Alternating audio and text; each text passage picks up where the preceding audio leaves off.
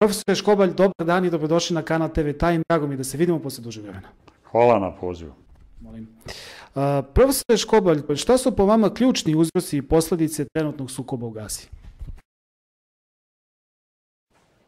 Da bi trenutno komentarisali situacije Gazi, moramo da se vratimo na prethodne događaje. Sjedine američke države, odnosno centri moći, u zadnjih 20 godina polako gube kompas. A prethodili se im je situacija u Afganistanu, gdje su doživjeli poraz. Procenjuje se da su im bili gubici negdje oko 2000 milijardi i ogromnu količinu naoružanja su ostavili u Afganistanu.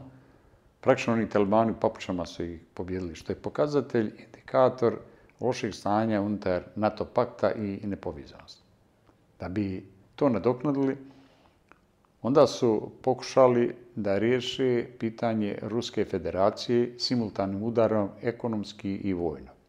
Zato im je iskoristila Ukrajina, na kojoj su detaljno radili od 2004. godine, kada je Jušenko izvršio prevrat, a drugi 2014. na Majdanu. Rusi su u tom momentu bili dosta nejaki i nisu mogli adekvatno da odgovori.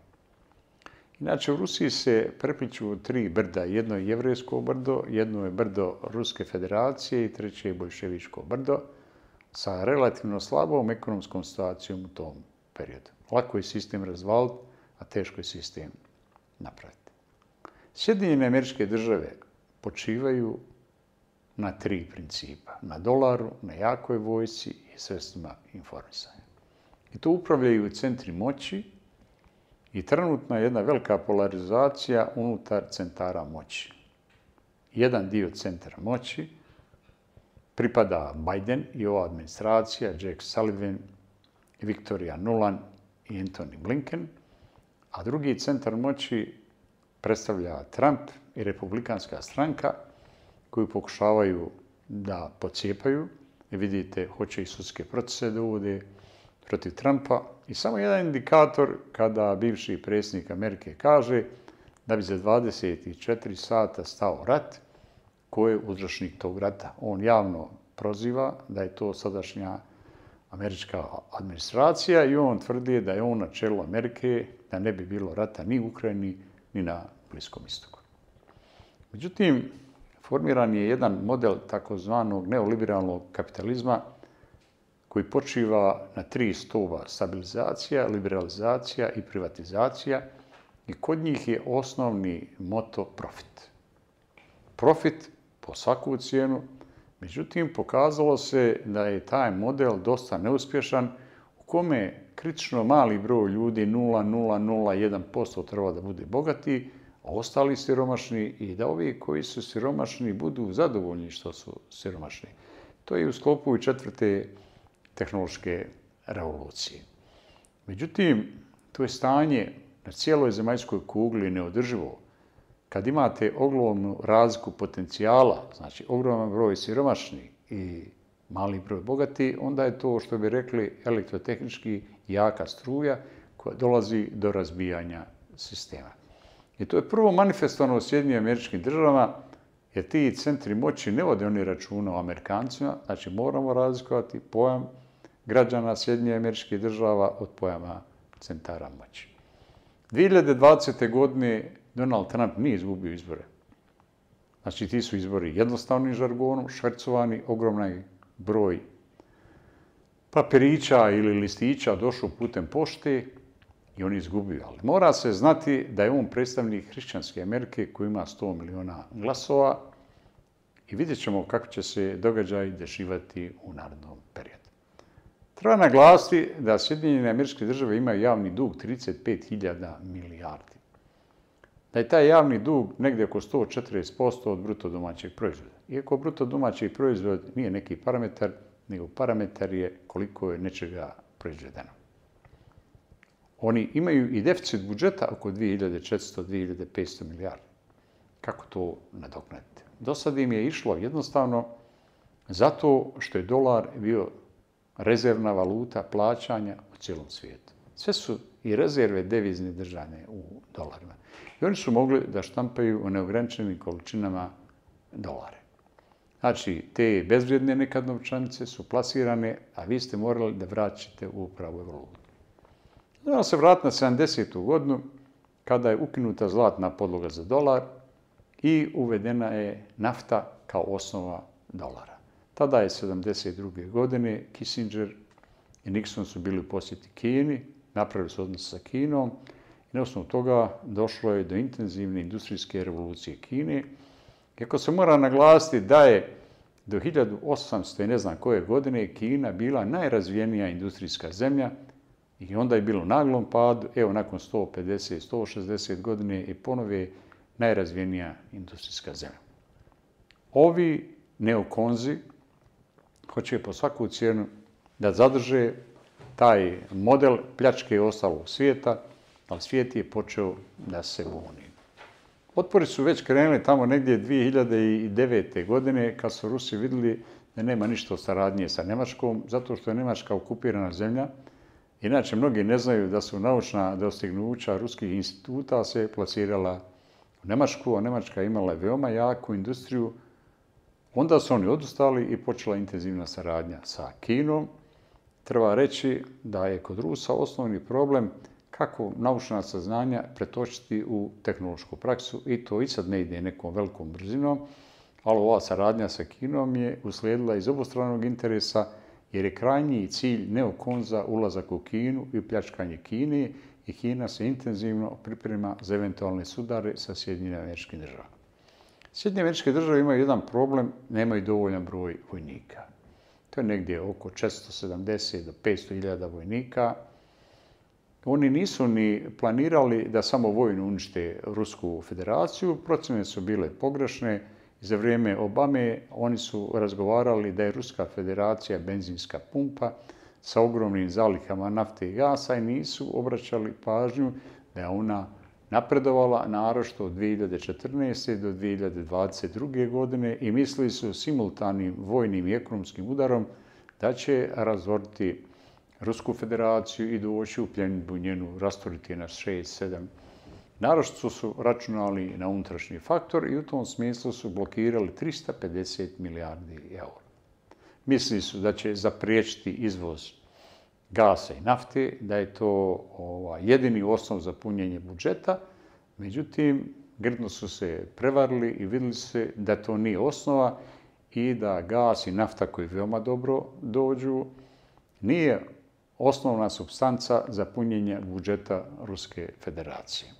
Po narodnoj, što me ne slomi, to me ojača, oni se bili pripremili za ovaj rat u naoružanju i vojnoj opremi i posebno poljoprivredni, jedino nisu u sredstvu informisanja, jer sa ovim zapadnim informisanja i sa njihovim preterivanjima, da ne kažem lažima, niko na kraj nije izašao. Oni su u stanju da pretvore da je crne krave crno mlijeko početku je to bio žestok udar. U početku su Rusi imali ozbiljnih problema, a oni nisu imali namjeru da okupiraju Ukrajinu, da vode ras Ukrajinom, imali su namjeru da promijene rukovodstvo Ukrajine i oni su imali u početku pogrešne procjene, jer su mislili da je veliki broj činovnika u Ukrajini za Ruse prikriveno, međutim, CIA, FBI, i ove ostale multiorganizacije su to brzo prepravile i okrenuli su kompletno podršku u Americi. Narod se lako prihvata na Coca-Cola, Pepsi-Cola, žvake i na finu priču. Međutim, kad su vidjeli da je Džavo odnio šalu, onda je došlo do prestrukturiranja i promjene plana B, gdje se ozbiljno krenuo, Znači, imali su i varijantu B da se uđe u sukob. To nije sukob sa Ukrajinom, to je sukob sa NATO paktom ključni događaj, dolazak Svorovikina za generala i podrška Valeriju Gerasimovu, ove čuvene Svorovikine linije koje su povučene. Nije se lako bilo povući iz Hersona, jer to je superiorna vojska i tako dalje. Da nisu se povukli iz Hersona, sigurno da je raspoloženje javnog mijenja u Rusiji bilo sasvim drugačije. I od tada krene, kreće odbrana, odnosno takozvana kontraofanziva. U toj kontraofanzivi su Ukrajinci od 4. juna do sada izgubili 110.000 vojnika. Ubijeno 110.000. Koliko je ranjeno, to niko ne zna, ali ukupni su ubici 520.000 vojnika i negdje oko 1.300.000 ranjeni. E sada, u ovoj fazi, Ruska federacija prelazi u kontraofanzivu, ona kreće u kontraofanzivu, Zelenski i ova vlast mobiliše ljude na novo, to su treće pozivari, bolesni, ovakvi i onakvi, koji treba da se prostoje, ali to je pokazatelj nemoći. Zapad, taj kolektivni, koliko je kolektivni pod navodnim znacima, do sada je potrošio 180 milijardi dolara eura, koliko je tu pokredeno, to se i ne zna, ali to nije ni važno. Sve bi to oni nadoknadili preko resursa u Ruskoj federaciji. Šta su Rusi uradili? Oni su ovome razmišljali, intenzivno su radili na ekonomskom polju i na povezivanju ovih nesvrstanih zemalja. I kao rezultat toga bio je sastanak BRICS-a u Johannesburgu gdje je pristupio veliki broj zemalja. Ovih pet zemalja bez pristupanja ovih šest ima bruto domaći proizvod 31% u odnosu na zemlje G7 koji imaju 29%, a 2030. očekuje se da će BRICS imati bruto domaći proizvod preko 50% sa svim sa 70% sirovina, energenata i ruda. Ako to nemate, vi ne možete ni da proizvodite.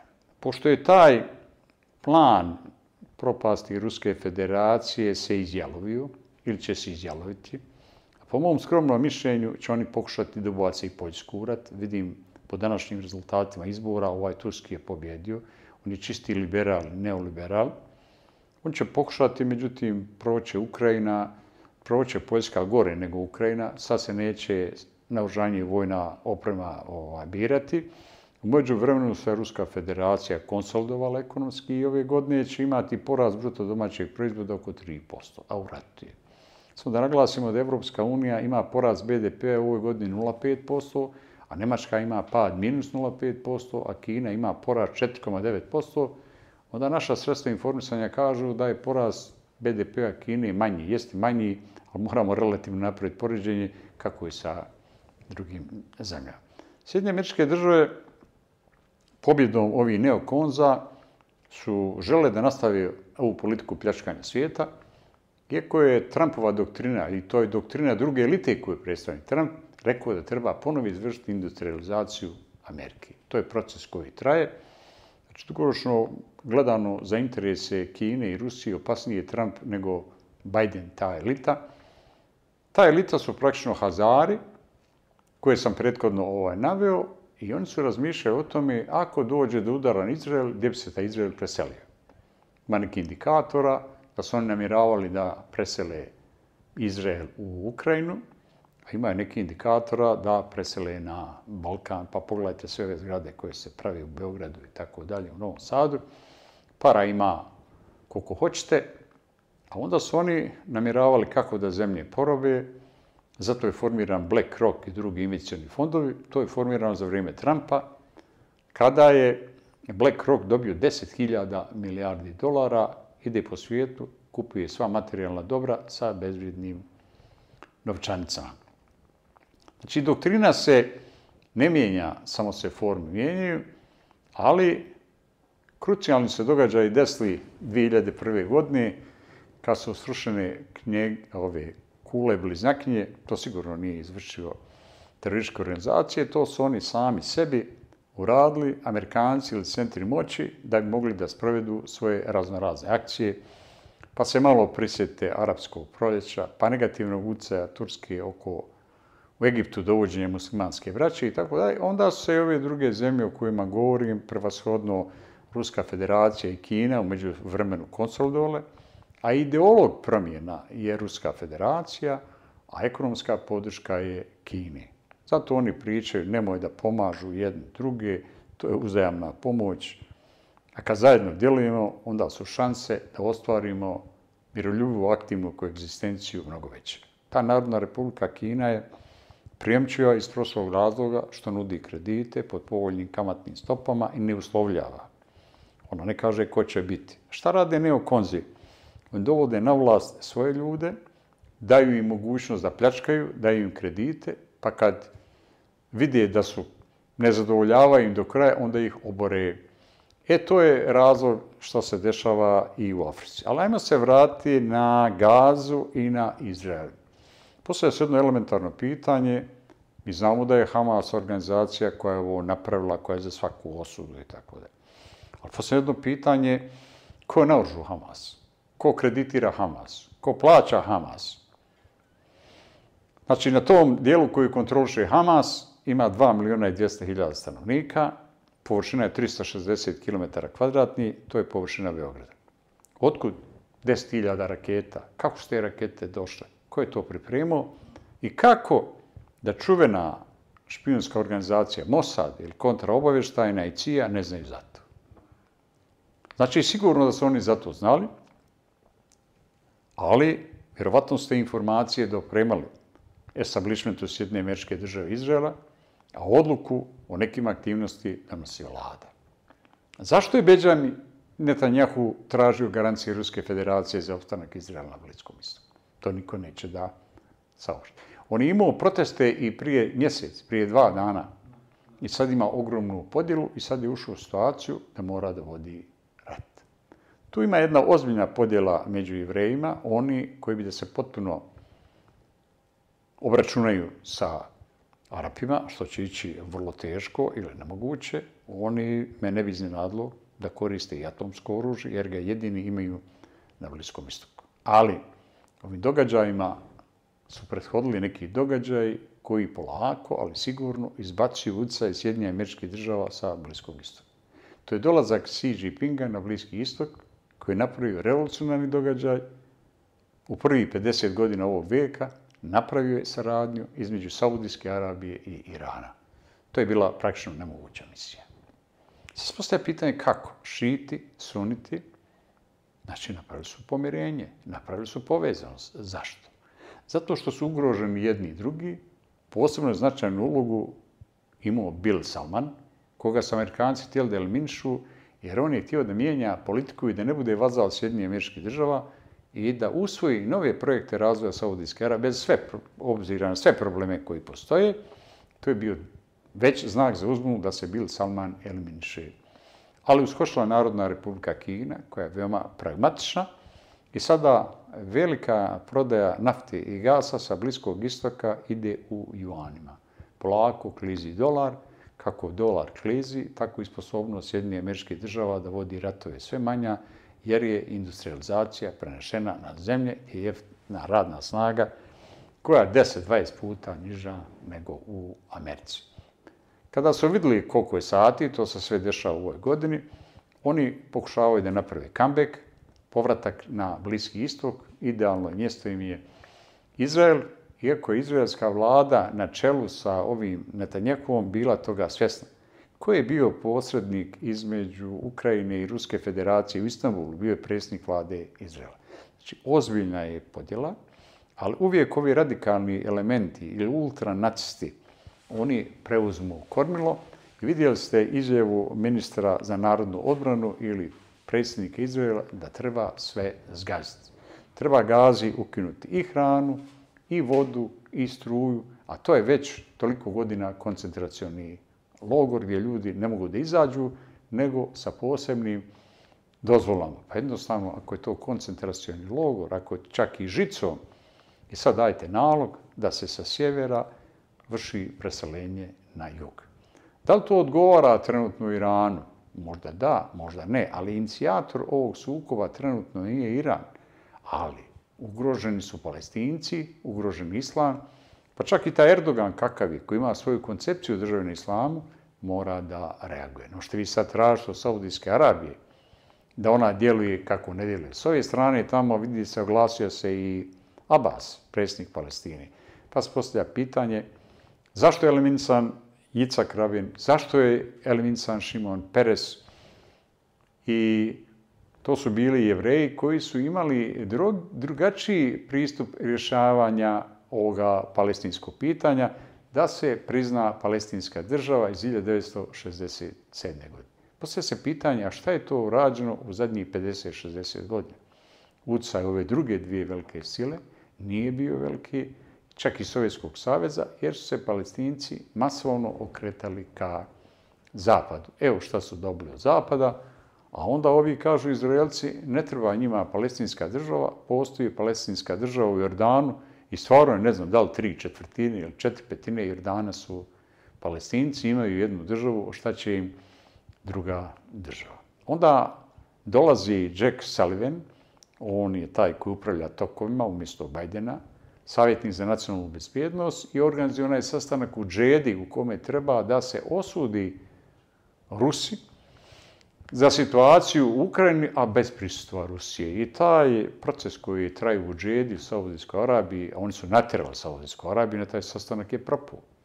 Propao je sastanak G20 u Indiji, gdje su oni očekivali da će G20 da posluša savjete G7, pa se to i djelovalo na tom sastanku G20 u Indiji, u New Delhiju, nisu bili prisutni predsjednik Kine, Xi Jinping, nije bio ni predsjednik Rusije Vladimir Putin, ali onda su oni uveli, vidite dokle to ide, da ga proglase ratnim zločincom jedne velike sile, a onda vam jasno kako je mogo biti proglašen Slobodan Milošević, njima je sve dozvoljeno, ali malo su se počešali iz uva onog momenta kad je Ruski sud proglasio i glavnog tužioca u Hagu, da je Ivan persona non grata i da se raspiše potjernica za nje.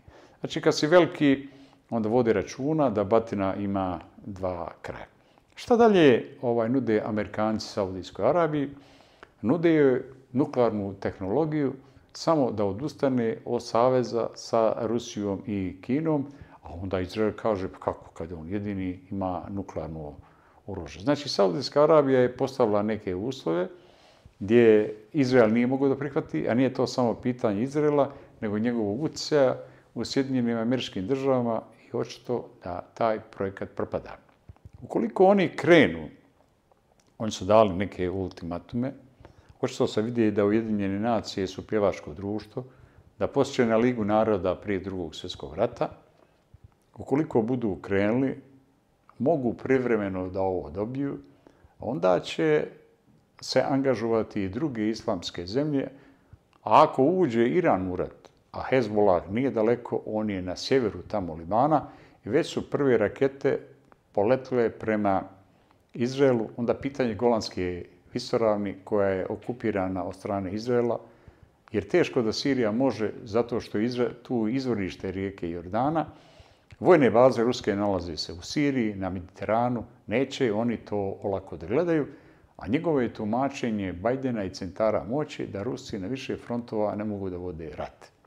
U tom momentu, pošto je to jedna šahovska ploča o kojoj je govorio nekav Žežinski i Kissinger, oni prave jednu tjesnu saradnju i neće pustiti on Iran na cedlu. Rusi ga žestoko naoružavaju. Pokušaj je bio i sa Egiptom. Egipat je ušao iz prioriteta Zapada u rusku sferu.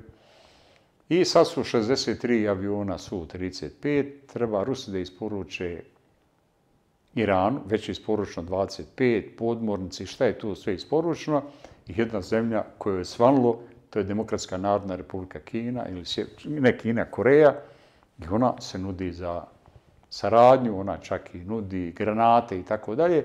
Bez obzira koliko to bilo simbolično, to je moćnoj industriji Ruske federacije, oni stavljaju na raspolaganje ogroman broj granata, 8 miliona granata, a pretpostavlja se da na ovom frontu od 1000 km Rusi ispale dnevno 20.000 granata, 155, a Ukrajinci 4 do 5.000, ali ova industrija naoružanja i vojne opreme u Sjedinim američkim državama nije planirala to i ona nije u stanju brzo da osposobi to, tu količinu Inače, Ako se napravi jedna analiza, onda se vidi na kojoj doktrini počiva Ruska federacija. Počiva na tri stuba. Duhovnosti, identitetu, porodici. Ovo je raketni rat. Tu rade cirkoni, tu rade kinđali i rade avangardi. Još nisu avangardi upotrebljeni. To su rakete, recimo, kinđal ima domet 2500 km kvadrat. Ne, 2500 km. Cirkoni imaju 1100 km. To je rak rana za nosače aviona. Jedna i nema nosača aviona. Oni su to demonstrirali na nekoj bazi kod Kiva gdje su probili podzemne bunkere dubine 167 metara sa kinđalom. Kinđal ide brzinom 12 mahova, a protivvazdušna odbrana Patriot može da obori projektile oko 4 maha do 5 maha. To je dovoljno jasno svakom. Ali to niko i ne spominje Koji je to krucijalni događaj za naoružanje i vojnu opremu Ruske federacije 2018. kad su inženjeri 35 do 45 godina projektovali kinđale i cirkone. Vidite da je ova krstarca Gorškov išla i obilazi pa malo do Kini, pa malo do Južne Amerike, pa malo ovo. Pa zašto neko nije intervenisao ti američkih brodova? E sada, oni imaju i spremne ove sarmate, imaju i jarse i ovaj avangard, on ima brzinu 25 mahonas. To je znači 30.000 km i prilikom kretanja se razvija temperatura od 4000 stepeni. Kako? Znači, posebni materijali i tu je novo agregatno stanje plazma koji hladi te grad. Nije slučajno Dmitrij Medvedev upozoravao Veliku Britaniju. Opasno se oni igraju. Nemoj da vam takva jedna raketa doleti do Londona, pa neće Londona da bude. I oni, sve te rakete imaju usmjerene prema centrima moći, normalno da neće da je koriste, još se to vodi klasični rat, ali za ne daj Bože, može i to da se koristi. To je kada neprijatelja pocijenite, onda ne znate šta će se dešavati. Po mom skromnom mišljenju, centri moći moraju biti poraženi. Kad budu poraženi, onda se tek može govoriti o miru na zemaljskoj pogledu. Mogu biti poraženi na dva načina. Jedan način da uđu u rat. Ako uđu u rat, izgubit će ga, jer vršene su adekvatne pripreme. Rekao sam, krajnji cilj je Kina, Kina to ne može da gleda, ali ona trenutno nije vojno spremna za rat tek 2026. i 2027. ali sigurno da može značajno ekonomski da pomogne Ruskoj federaciji. Treba naglas da svaki mjesec dana se pravi jedna elektrana u Kini, kakav je ekspanzivan razvoj. A gdje je gro energenata u Ruskoj federaciji? još jedna stvar koja se procenjuje, to je Arktik. Arktiku su neograničene količine ruda, minerala i energenata i ruska zastava je pobjena na Arktik. E sad je interesantno ponašanje Indije. Oni hoće po svaku cijenu da uvedu Indiju u sukup sa Kinom.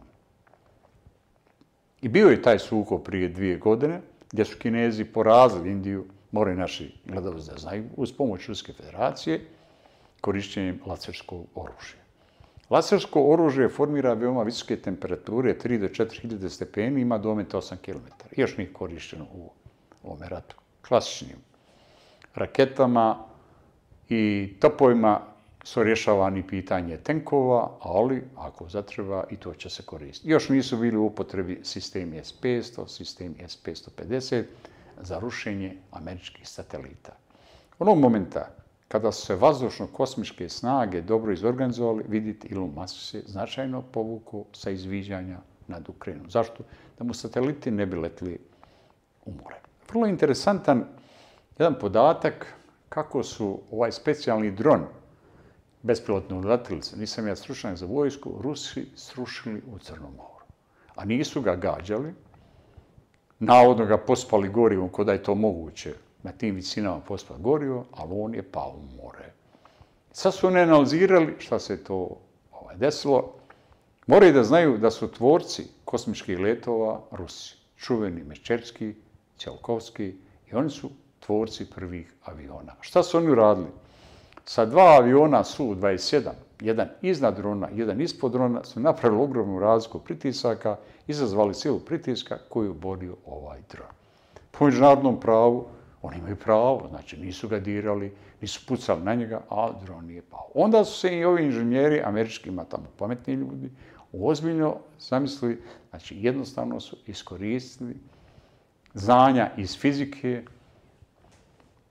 iz mehanike i to obol. Znači, vidjet ćemo šta će se dalje ovaj, dešavati na frontu. Vidimo da postoje indicije da se snage sa istoka povuku u Odesu, i Kijevu protivvazdušna odbrana. Zašto? Jer vjerovatno će istok morati da prepuste, a suština je borba oko Crnog mora. Znači,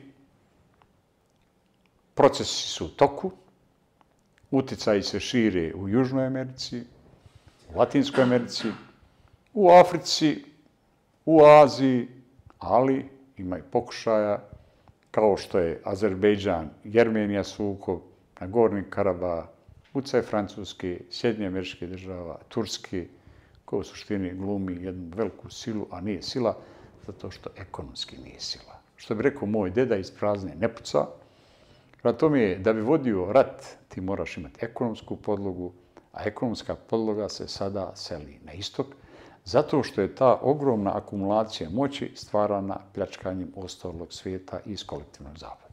Međutim, ne možemo više ni govoriti o kolektivnom zapadu, jer vidimo da ima značajnih iskakanja i sad je to nasilu održavanje vlada kolektivnog zapada. Vidjet ćemo da li će se sigurno Hezbollah, to je jedna moćna vojna formacija, 150.000 vojnika, koja je 2008. godine porazla Izrael, to neće niko da govori, će se uključiti, a se uključe oni, uključe se Teheran, ako se uključi Teheran, uključe se Moskva, ako se uključi Moskva, uključe se Peking, sve su to interesi, jer njih više Bosfor i Dardanele ne interesuju, jer će glavni transport ići preko Irana, Iran je zemlja, koja ima preko 80 miliona stanovnika, ima površinu 1.750.000 km kvadratni, to je Perzija, to nisu Arapi, ima tamo veoma mudrih i pametnih ljudi koji vode dosljednu politiku. Pogledajte ovu izjavu i njihovog ministra spoljnih poslova koji je rekao uvodimo računa o palestincima, a palestinci su šiti, znači neko razmišlja dugoročno da poveže islam I najveći doprinos Ruske federacije je poveživanje islama i pravoslavlja. Oni su želeli da slušaju, slušaju pravoslavlje kako preko Bartolomeja, carigradskog patrijarka. Pogledajte koje on zlo nanio među pravoslavnim narodom. To zlo se prenosi na Balkan, na Makedonsku pravoslavnu crkvu, na Srpsku pravoslavnu crkvu. A šta je krajnji cilj? Da budu podanici katoličke pravoslavne crkve, a onda da se formira jedinstvena crkva kojom bi upravljala globalna država. Moramo razlikovati pojam globalizacije od pojma globalizma. Globalizacija kaže da je potrebno povezivanje ljudi širom zemaljske kugle, dok je globalizam upravljanje i centara moći po njihovim pravilima. A pravila su, ako hoćeš, hoćeš, ako nećeš, moraš, a onda doktrinu primjenju Johna Perkinsa, kako se uništavaju zemlje, to ćemo u nastavku emisiji reći kako je uništena Srbija. Zahvaljujem na odgovor profesore Škobalj. Značaj i uloga BRICS-a u daljoj prekompoziciji sveta? Gledajte, BRICS je formiran da bude ravnoteža, ne vojna, G7. I ljudi su se udružili, znači pet ovih zemalja, Brazil, Rusija, Indija, Kina i Južna Afrika, iz prostog razloga da se ova hegemonizacija prekine. Nije to tako lako išlo. Sve dotle dok Rusija nije dovoljno ojačala i dok nije formirala intenzivnu saradnju sa Kinom, BRICS je bio u povoju. Sad je BRICS izrastao u jednu veliku asocijaciju koja će još više da jača, a sem BRICS-a postoji Šangajska organizacija za saradnju i još jedna, jedan pojas, jedan put, oni ljudi ne znaju, da jedan pojas, jedan put pokriva 132 zemlje. On se je značajno intenzivirao 2013. godine. Prije 10 godina i u zadnjih 10 godina Kina je investirala u jedan pojas, jedan put, 1500 milijardi dolara, prosječno 150 milijardi i dala je značajno otrežnjenje zemlje Afrike. U Africi su napravili 6000 km pruge, 10.000 km autoputeva, luka i tako dalje i tako dalje i otvorili odgovarajući broj radnih mjesta. Na to su ovi centri moći reagovali, pa je došlo do pada režima.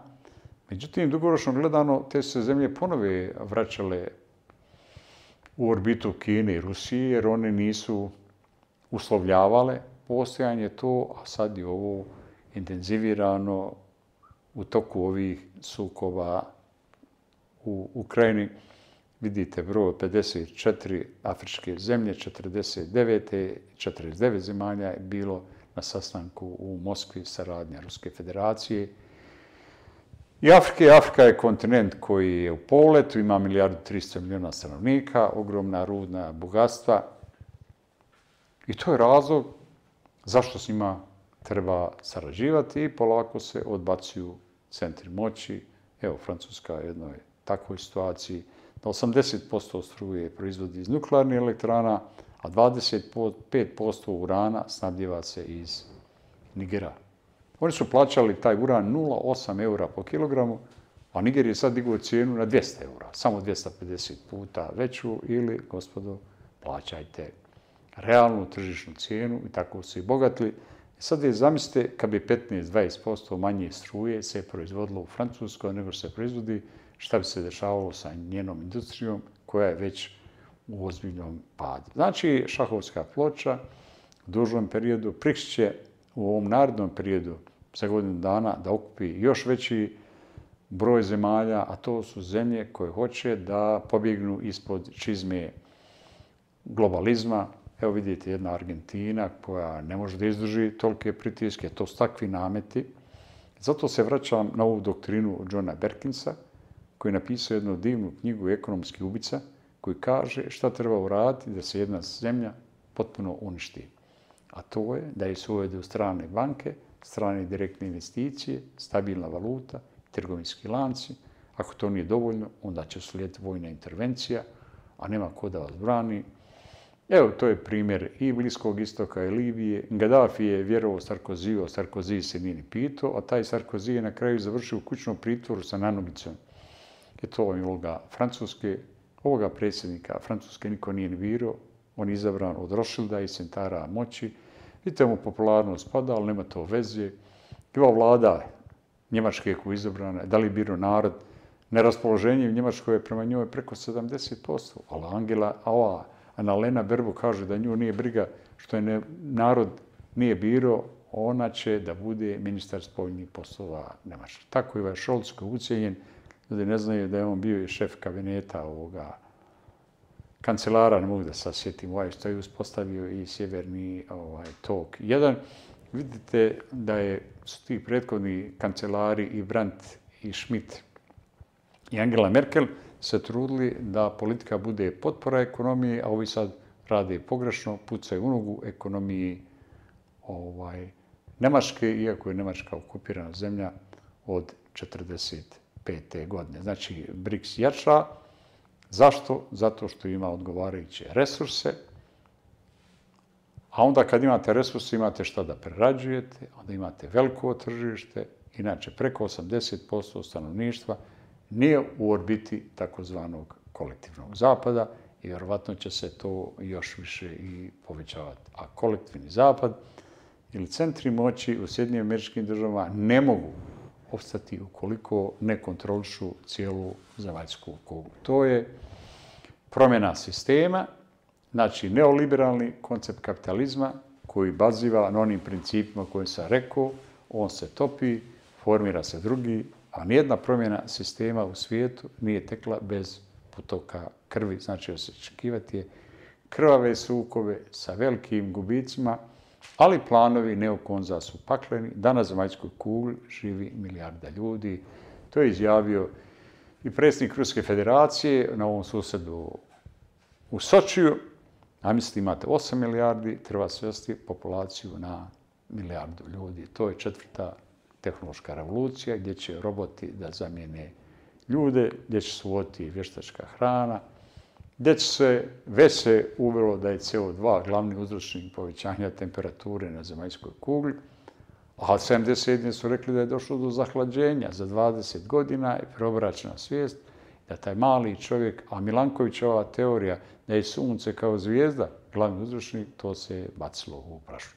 Pored upozorenja i američkih naučnika i ruskih naučnika iz NASA i Lomonosova, na to centri moći nisu reagovali. I zadnje pismo prije nekoliko mjeseci, 1500 naučnika koji su pozdravali Gutereša da se to stavi na dnevni red, da se stavi na razgovor, na diskusiju, da se vidi je palo. U vodu doktrina je takva, treba se otkloniti od ugljovodonika, od uglj, nafte i gasa. Ako pogledate, je u Poljska prva koja to ne sluša, ona je rekla da će ugalj u proizvodnji struje da ukloni 2049. godine, ali mi ćemo odmah to da primjenimo za Boga. To je međunarodna zajednica predložila i kad bi nam rekla da skočimo u bunare, ima osjećaj da bi mi skočili i rekli da je to dobro. Englezi se vraćaju na termoelektrane, Nemci se vraćaju na termoelektrane. Jedna stvar koja je zanemarljiva, koju ljudi zanemaruju, to je povratak na nuklearne tehnologije Rusije, proizvodnje brzih reaktora, takozvani brzi neutrona i već se radi proces fuzije.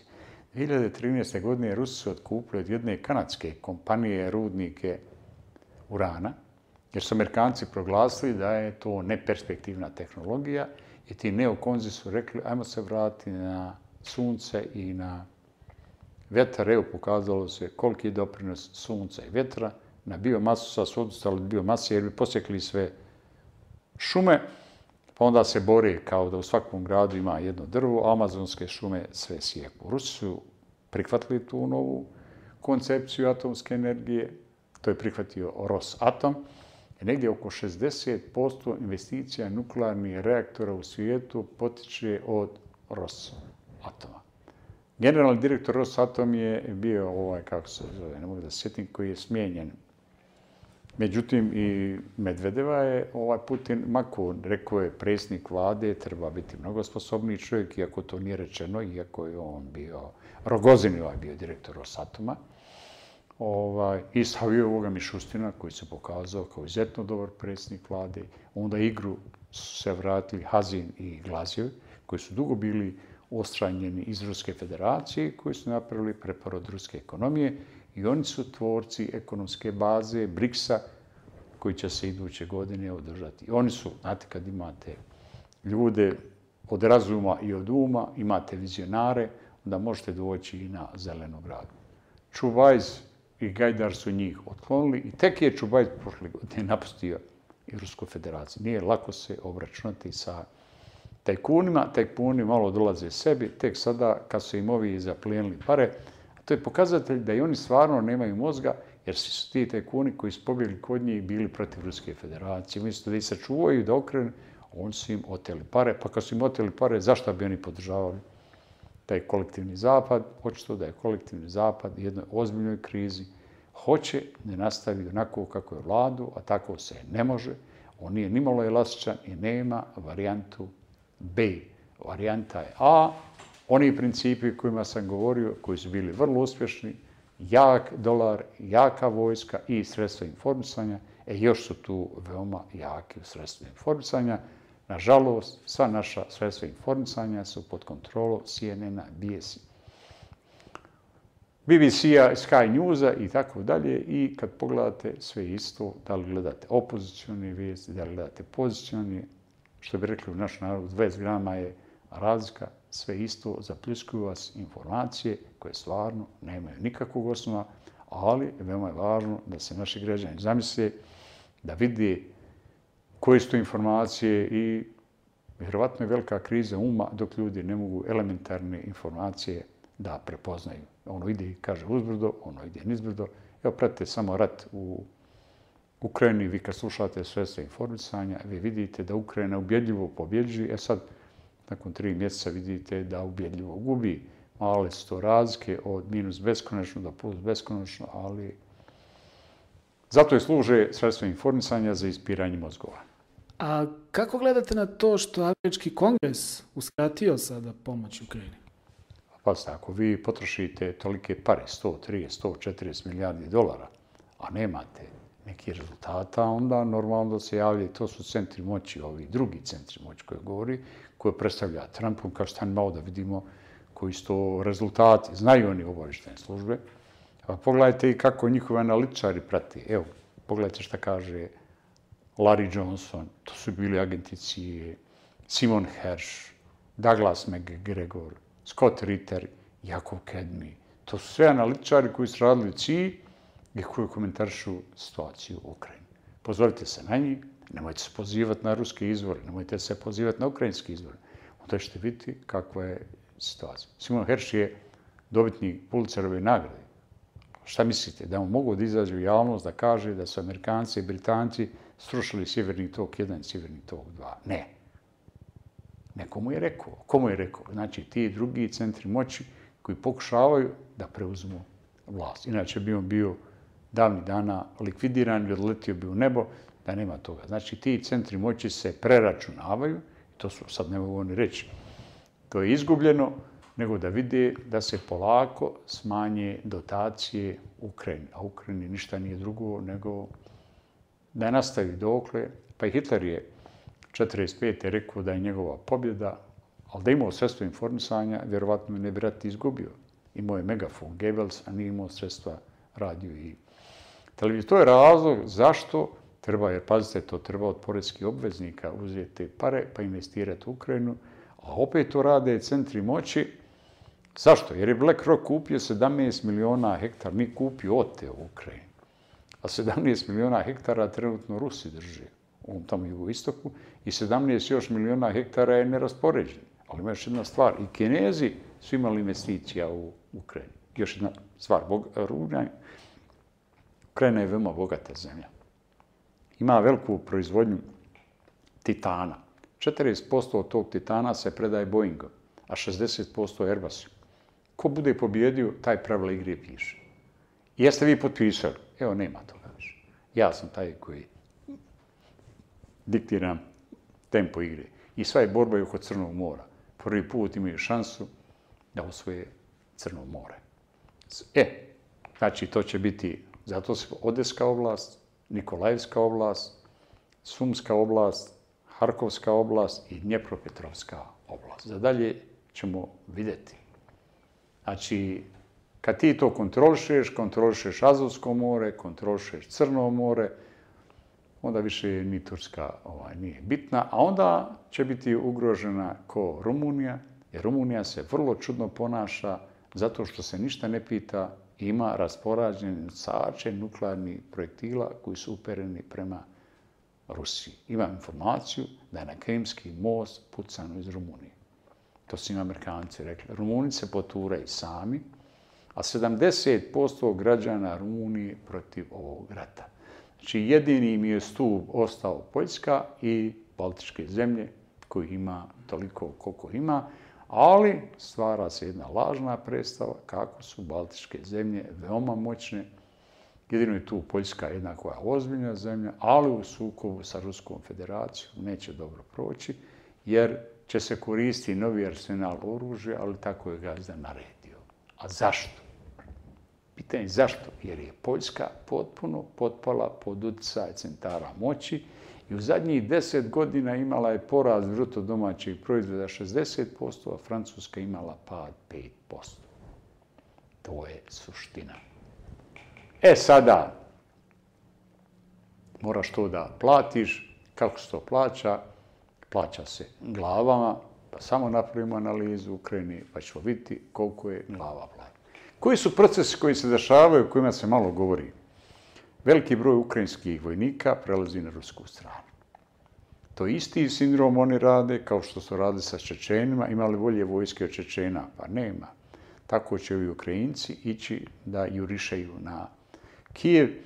Prema informacijama koje ja imam i pratim, već oko 100.000 ukrajinskih vojnika prešlo na rusku stranu i osposobljavaju se A Rusija ima, što bi rekli Hrvati, u pričuju rezervi 520.000 vojnika koji nisu nasilno mobilisani zato što postoji veliki rezervoar, a postoji ogromna i materijalna sredstva i vodi se računa o ljudima koji idu u red. U ovoj kontraofanzivi, što je kontraofanziva, ja ne znam, ili ofanzivi, kažem, poginulo je 110.000 vojnika i postoje neke informacije da je taj odnos 1 prema 10 poginuli dosta i ruskih vojnika, ne samo ukrajinskih vojnika. To su ogromni gubici koje Ukrajina ne može da održi. Još jednu napomenu. Prije početka ovih sukoba bilo je u Ukrajini oko 42 miliona stanovnika, sad ima 19 miliona. A 1991. je bio 51 milion. Zamislite za godinu i pol dana ili za godinu i sedam mjeseci broj stanovnika smanjen na pola i više od pola. Kako su dalji trendovi? Evo, našim gledalcima na razmišljanje. Znači, evo, očekujem u ovoj narednoj kontraofanzivi da ti gubici budu veći. Pretpostavlja se da su ovdje bili gubici na dnevnom nivou 800 ljudi, boginov. Znači, u ovoj narodnoj ofanzivi, gdje nema pripremljene vojske, nema specijala sveta, ti gubici mogu doći 1500 vojnika i nakon toga je sasvim normalno, kada nema resursa, da dođe ne do primirja, nego do kapitulacije ukrajinske vojske. Nakon kapitulacije ukrajinske vojske, kako će to dalje izgledati, ja ne znam da li će se postaviti neka vlada koju će diktirati pobjednik ili će oni zauzeti. Ja mislim da će taj jedan dio biti u Ukrajine, koju će da kontrolišu Rusi, a ovaj najkvalitetniji, šta je najkvalitetniji dio, će ući unutar Ruske federacije i tako se formira ruski svijet, Ukrajina, Rusija, Bjelorusija. Imaju tu iskakanje određeni ti jadni i veseli jermeni koji se ponašaju vrlo čudno, a Boga mi ne znam ni kako se mi ovaj ponašamo, neće dobro proći, jer za Boga oni sad traži kao zaštu Ruske federacije, a potpisali su ugovor sa Azerbejdžanom da predaju na Gorni Karabah. To je uticaj Jermena iz Francuske i Sjedinje američke države, pa neka i sada za početak brani Francuska i Sjedinjene američke države. Ja očekujem i tamo veliku pobunu ako budu imali malo mozga, ako ne budu imali, onda će nestati i ko država. E, da, zanimljivi su svakako i ovi trendovi u Africi što prete ove događaje. Pogledajte, dugo je Afrika pocenjivana, dugo su eksploatisana sredstva, stvorili su navike, rudna bogatstva. Evo primjer Nigera, u kome je rudna renta bila, ne znam, 4%, pa su onda Francuzi rekli da ćemo 7%, 8%, 10%. A onda su ovi rekli, nećemo mi to. Prije toga su Rusi poslali ove privatnu kompaniju Wagner, ali su ovi poslali legiju stranaca. I Kinezi imaju svoje privatne kompanije. Amerikanci imaju Blackwater svoje privatne kompanije i te se privatne kompanije, što bi rekli uličnim žargonom, između sebe pobile. Kada pogledate ko je formirao Wagner, onda vidite da su to specijalci iz Gruva formirali. Da ne bi Rusi slali vojsku, teško je slati vojsku, mnogo je lakše kao privatnu kompaniju.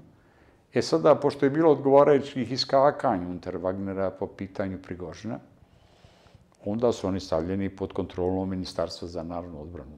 Ostali su isti ljudi, ubačeni vrhunski oficiri i vrhunski oficiri obučavaju afričku vojsku. Pazite, a ovaj a, predsjednik Burkine Farso je prešao u pravoslavlje. A on je, ne znam šta je kapetan, major, to sve niski činovi koji su izvršili državni udar.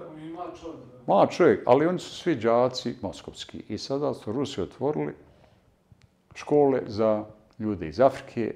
Ljudi ne znaju da u Kini se školuje preko 400.000 Afrikanaca koji će u jednom momentu da se uključe u taj afrički život i da zauzmu vjerovatno čelna mjesta, a postoji oni ostaci kada je Sovjetski savez branio Afriku i mi smo tu imali ulogu iz nesrstani kad je veliki broj ovdje studirao u Beogradu i tako dalje. A mi nismo ni do sad razjasnili ovde raspad SFRJ, koji je to organizuje. E sad procesi idu dugim tokom. Drugim tokom, što znači da ovaj model društva u svijetu se prevazilazi. Afrika traži nekog da, da je brani, a nemojmo da se lažimo. Ljudi traže potporu da i neko zaštiti, da je obezbijedi suverenitet, integritet i da ne obaraju režime. Ima tu dovoljno resursa, ima tu dovoljno energenata, imaju čime da plati, ali ne može 3%, a tebi 97%. Ajmo pola, pola, pa svi zadovoljni. A onda ako je 3% i 50%, znači imat ćeš više sredstava za investiranje 15-16 puta, onda ćemo uvesti i savremene projekte. Kažem, kinezi to vrlo, vrlo brzo rade, posebno u domenu infrastrukture. Vi vidite kako su ove naše mostove napravili. Niko nije ne osjetio ovaj Pupinov most. Ovaj se kilavio most ovde, kako se zove, nadi, kilavio, kilavio, nikad napravio. Idemo dalje. Onaj most u Crnoj Gori koji su oni napravili, jer je to jedan mehanizam koji radi i koji je sada došao u jednu krizu zato što su se tajkuni pobunili unutar Kine, a tajkuni imaju samo brigu oko kapitala i zato je ove godine relativno mali poraz žuto domaćeg proizvoda u Kini, jer je ova komuniška, ali komuniška partija, ona kontroliše, ona ne vlada, jer je osnova privatni kapital sa kontrolom države. Kod nas nikakve kontrole nema, uzmi ago, koliko ti drago i onda koristi sredstvo informisanja da objasniš kako je med i mlijeko, od meda i mlijeka nema ništa. Znači, svaki sistem koji ne primijeni šest osnovnih funkcija menadžmenta, funkcija predviđanja, funkcija projektovanja, funkcija organizovanja, funkcija kadrovanja, funkcija upravljanja i funkcija kontrole može dati rezultat. Nije slučajno rekao Putin, ima da se do 2030. godine napravi 1300 aviona. Pa da vidim kome će Airbus prodavati avione i kome će prodavati Boeing avione ako ja imam svoje avione. Pa oni su mislili da će sa automobilskom industrijom da unište Rusku federaciju, a u ovome Kaliningradu skočili odmah kinezi, ne znam koja je bila, BMW, Audi, nije ni važno, i proizvode 350.000 automobila. Pa onda ovaj grad, ne znam, Kaluga, kako se zove, to su ovaj, preuzeli Rusi i oni proizvode 350. Istina, to je malo, ali evo oni proizvode i svoj Moskvić, pa će ove godine da napravi 35.000. Sve to malo, ali iduće godine se očekuje poraz. Pa šta je McDonald's to naudio nešto? Pa nije naudio ništa. Oni ne zove se McDonald's, nego zove se nekako drugačije. Ostoje svo to osoblje. Boga mi kod da su to neke industrije i onda se ti oslobodiš ove industrije, što je skupo. Ti proizvodiš u domaćoj industriji. Ima jedna stvar koju građani ne znaju. Jedino se Ruska federacija i Sjedinjene američke države mogu zatvoriti same u sebe. Jer imaju sve energente, imaju sve resurse, ali ovi malo centrima moćima, njima je malo Sjedinje američke države, malo Kanada, hoće cijeli svijet. E, ko hoće sve, možemo se desiti da dobije ništa i zato postoji ta ekspanzija u naoružanju vojne opreme, jer oni kažu da je njihovo naoružanje vojne opreme 10 do 15 godina ispred naoružanja i vojne opreme na zapad. I to se sada koristi, jer je to neko planirao, neko je programirao, a šta mi planiramo, gospodo? Šta smo mi isplanirali? Šta? Nismo isplanirali ništa, jer nisu samo kadrove, ali u Srbiji je zakazala elita koja se bavi sama sa sobom i nema nikakvih predloga po pitanju daljeg razvoja. Da li ti bio mali ili da li bio veliki, ti moraš da, da poštiješ ove principe o kojima ja govorim. Gledajte, Vi kažete, ja prepustim strane banke, ja sam istraživo to. 90 do 95% kapitala upravljaju strane banke. To je rakrana jednog društva. Ove godine strane banke, po statistikama Narodne banke Srbije, izvuče milijardu 200 miliona eura profita. Nakon šest mjeseci je to bilo 650 miliona. A vjerujte mi da je to i više. Jer ne znamo, kad dođe diobjeni bilans, šta se u tom periodu dešava. Zamislite, kad bi mi uložili te pare u razvoj Srbije, a pošto mi, mi nemamo programa razvoja, to nama ne bi ništa ne znači. Mi to uložili vjerovatno u stadion neki, u Leskovcu, u Surčinu i tako dalje. A druga stvar, čim parama te banke raspolažu? Raspolažu depozitima naših firmi i naših građana. E sada, na kraju ćemo reći šta bi radili Druga je stvar, strane direktne investicije. Da, ako se slažete, profesore, pre nego što se prebacimo na domaće teme, da se zadržamo još malo na polju međunarodne politike. Nema problema. Značaj i uloga Kine u novom tom geopolitičkom poredku? Pa Kina je nosila zajedno sa Ruskom federacijom novog koncepta svijeta, njena velika ekonomska snaga i podrška Ruske federacije, to je poluga oko koje se sve ostale zemlje okupljaju. Ona nudi savremene tehnologije, posebno u domenu čipova, poluprovodnika. Tako da, e, šta je njena mana? Nema dovoljno energenata, nema dovoljno sirovina. To može da nadoknadi iz Ruske federacije i imaju zajednički pristup Artiku gdje će te probleme rešavati, jer se pretpostavlja da će u narednih 30 godina gas biti osnovni Energent. Još jedna stvar koju ljudi ne znaju, nafta nije osnovni energent za pogon motora, nego i industriji, farmaceutskoj industriji, industriji plastike. Oni će to najvećim dijelom kontrolisati. Saudijska Arabija, Iran, Ruska federacija, ostalo je sve. Istina, Amerikanci iz uljnih škriljaca mogu mnogo da proizvedu, ali to je dovoljno samo za njihove potrebe, nije za potrebe drugog dijela svijeta. E sad, kako ćemo to rješavati? U domenu nuklearne energije, oni imaju instalisanu snagu u nuklearnim elektranama, Amerikanci 100.000 megavata, od čega 20.000 imaju na osnovu obogaćenog uranijuma iz Rusije, 20.000, to je 20%. Oni imaju jedini tehnologiju da se više puta korišćeni uran obogaćuje i da se ne odlaže, jer odlaganje urana izaziva opasne probleme po zaštitu životne sredine. Pogledajte sad u Japanu šta radi sa ovom teškom vodom, pa onda narod ubjeđu kako nema problema kad se ta voda iz reaktora izlije u okean. Je tako? Laž više puta ponovljena postaje istina. Evo, znači, sve su prednosti istoka u zadnjih, ja bih rekao i 20 godina, govorim u fazi projektovanja. Ne možemo mi zapad zanemariti, ne možemo pocijeniti dosta je zapad i dobrog donio. Međutim, dođe do dekadencije, dođe do zamora i dođe do pada. Po onoj narodnoj, da Bog da se peo, e nikad se ne popeo, kad se popinješ na brdo, valja se ići nizbrdo. Znači, Kina je lokomotiva razvoja.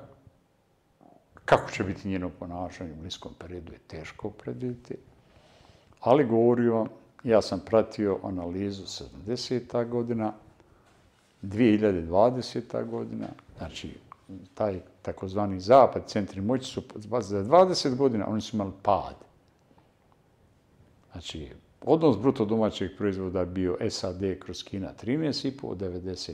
15, pa valjda je bilo zaočekivati da bude 17, pa ne, onda je došlo do porasta, što znači da se to društvo preorganizovalo u ovome sklopu o kome sam govorio i onda su imali oni stope rasta na godišnjem nivou 12%, 9%, 10%, Znači, to, kad imate mal bruto domaći proizvod, relativno je lako skočiti na veći, ali održati je vrlo teško. Da bi imali porast bruto domaćeg proizvoda duplo veći, recimo Srbija, ona bi morala imati stopu porasta 7,5% na godišnjem nivou, a ove godine će imati 1,5%. E sad, oni su imaju dobru saradnju sa zemljama ASEANA, i tu imaju razminu oko 950 ovaj, milijardi eura, a sa Evropskom unijom imaju razminu negdje oko 900, a intenzivna saradnja između Rusije i Kine je porasla, ali to još nije dovoljno. To je negdje oko 250 ove milijardi, velike su to cifre. Dok je recimo razmjena između Nemačke i Kine 300 milijardi eura, Nemačke to je industrijska sila koja je sada u padu, pri čemu je izvoz Kine u Nemačku bio 200 milijardi, a izvoz Nemačke u Kinu 100 milijardi, da veliki brat kaže nema saradnje sa Kinom, ako nema, to je propast Nemačke. Zato je i ovaj Macron pokušavao da se približi BRICS-u i automatski je bio onemogućen. Zato je delegacija Nemačke pokušala da ode do Kine, jer ne smije tu saradnju da ispusti. Zašto? Pa Njemačka je geografski mala zemlja, nema veću površinu 360.000 km kvadratni.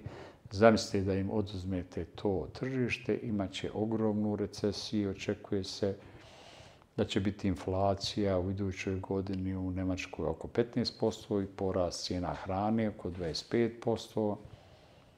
Šta se radi pošto su uslovi za privređivanje loši, taj kapital se seli masovno u Sjedinjene američke države, gdje su tamo uslovi sada relativno dobri, koliko će trajati to ne znamo.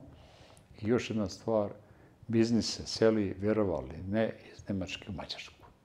Jedina dosljednu politiku vodi Mađarska i kad se ovi sukobi završe, ona će biti jedini pobjednik na ovim terenima, ali trpi i velike pritiske, a održava se iz prostog razloga što ima intenzivnu podršku Rusije i Kini, a 2009. je proglasila bankrot. Još jedna zemlja koja je interesantna, koja se pocenjuje, u kojoj Kina ima veliki utjecaj je Grčka. A zamislite, 30% hamburške luke su kupili Kineze. Sve još jednom napomenom da jedan pojas, jedan put, on prolazi preko Balkana, završava se, vjerovali ne, u rijeci. Zato možete vidjeti i ovo čudo ponašanje hrvatskog rukovodstva koje je podijeljeno. Jedno oko Milanovića, možda ovo prvi put čujete, jedno oko Plenkovića. Taj Milanović je veoma dobro informisan, nam ja, svi oni isto tik poduvaju, ali ponaša se racionalno, isto oko 45. godine, kad su domobrani prešli u partizane, i on se prestrojava za događaje koji dolaze. Pa i mi, braćo Srbi, dajmo se u pamet, malo vidimo kuda vjetrovi duvaju i zašto se to sve dešava. Sad ćemo to naredno obrati pitanje. Ko su, znači, Kina je nezaobilazan faktor, ali ima jedan problem, nije vojno jaka i to je natjeralo da ima intenzivnu saradnju sa Ruskom federacijom, pa onda kaže Kina šalje oružje Rusima, ne treba da im šalje oružje, možda Rusi šalju Kinezima oružje.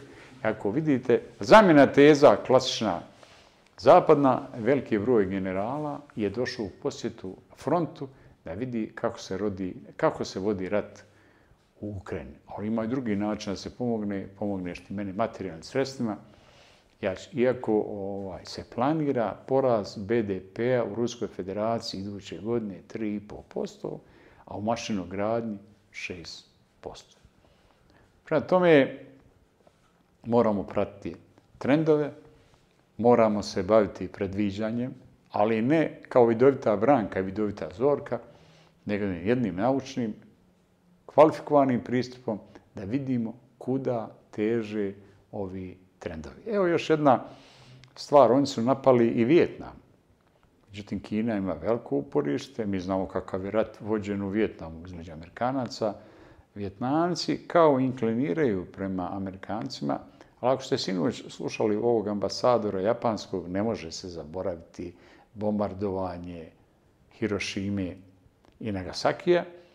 Na tome ni Vjetnam ne može da zaboravi izvjerstva koja se dešavala u Vjetnamu, ali je intenzivirana saradnja, recimo da je razmjena između Vjetnama i Sjedinje američke 123 milijarde.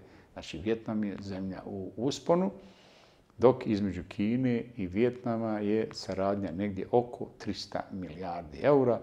Samo ima jedna dobra stvar, Vjetnam što se tiče oružja značajno zavisi od Ruske federacije, procenjuje se, to je ono davnih dana kada je da nije bilo Rusa, u stvari SSR-a, ne bi ni došlo do povezivanja između Južnog Vjetnama i Sjevernog Vjetnama, ni bi se Amerikanci porazili u Vjetnamu. Još jedna zemlja, rekao sam, interesantna, to je Indija. Ona nema tu snagu kao Kina, ima broj stanovnika, ima značajnu ekspanziju, ali ima relativno mali bruto domaći proizvod, ima veliki skok, jer kad je nešto malo, onda je, nije problem. Sad ima oko 7,5 posto, ali njena vojska isto tako značajno zavisna od naoružanje i vojne opreme iz Ruske federacije, iako se centri moći nemilosredno trude da naprave rat između Indije i ovaj, Kine, iako su Rusi bili daleko vidi, ove su godine dali Indiji ogromne količine nafte po veoma povoljnim cijenama, a onda Indija preprodavala naftu. Nije trebala tolika nafta. Rusi su to svjesno progutali knedlu da ne bi uvukla se Indija na ovu drugu stranu, što znači da je u prethodnom periodu i razmjena bila veoma mala, govorimo o velikim zemljama, bila je negdje oko 17 milijardi dolara, ove će se godine povećati na 70 milijardi dolara, jer je izvoz nafte i gasa u Indiju porasto 30 puta u odnosu na prošlu godinu. Vidite šta su interesi, su jedno čudo kad imate šta da ponudite, onda širite i svoje interese, jer vi bez energenata ne možete. Ako nema energenata, nema života, nema razvoja. E, tu je oskudna Kina. I sad je, moramo gledalcima reći, da je to relativno i sa skromna, nije to velika razmjena gasa između Ruske federacije i Kine.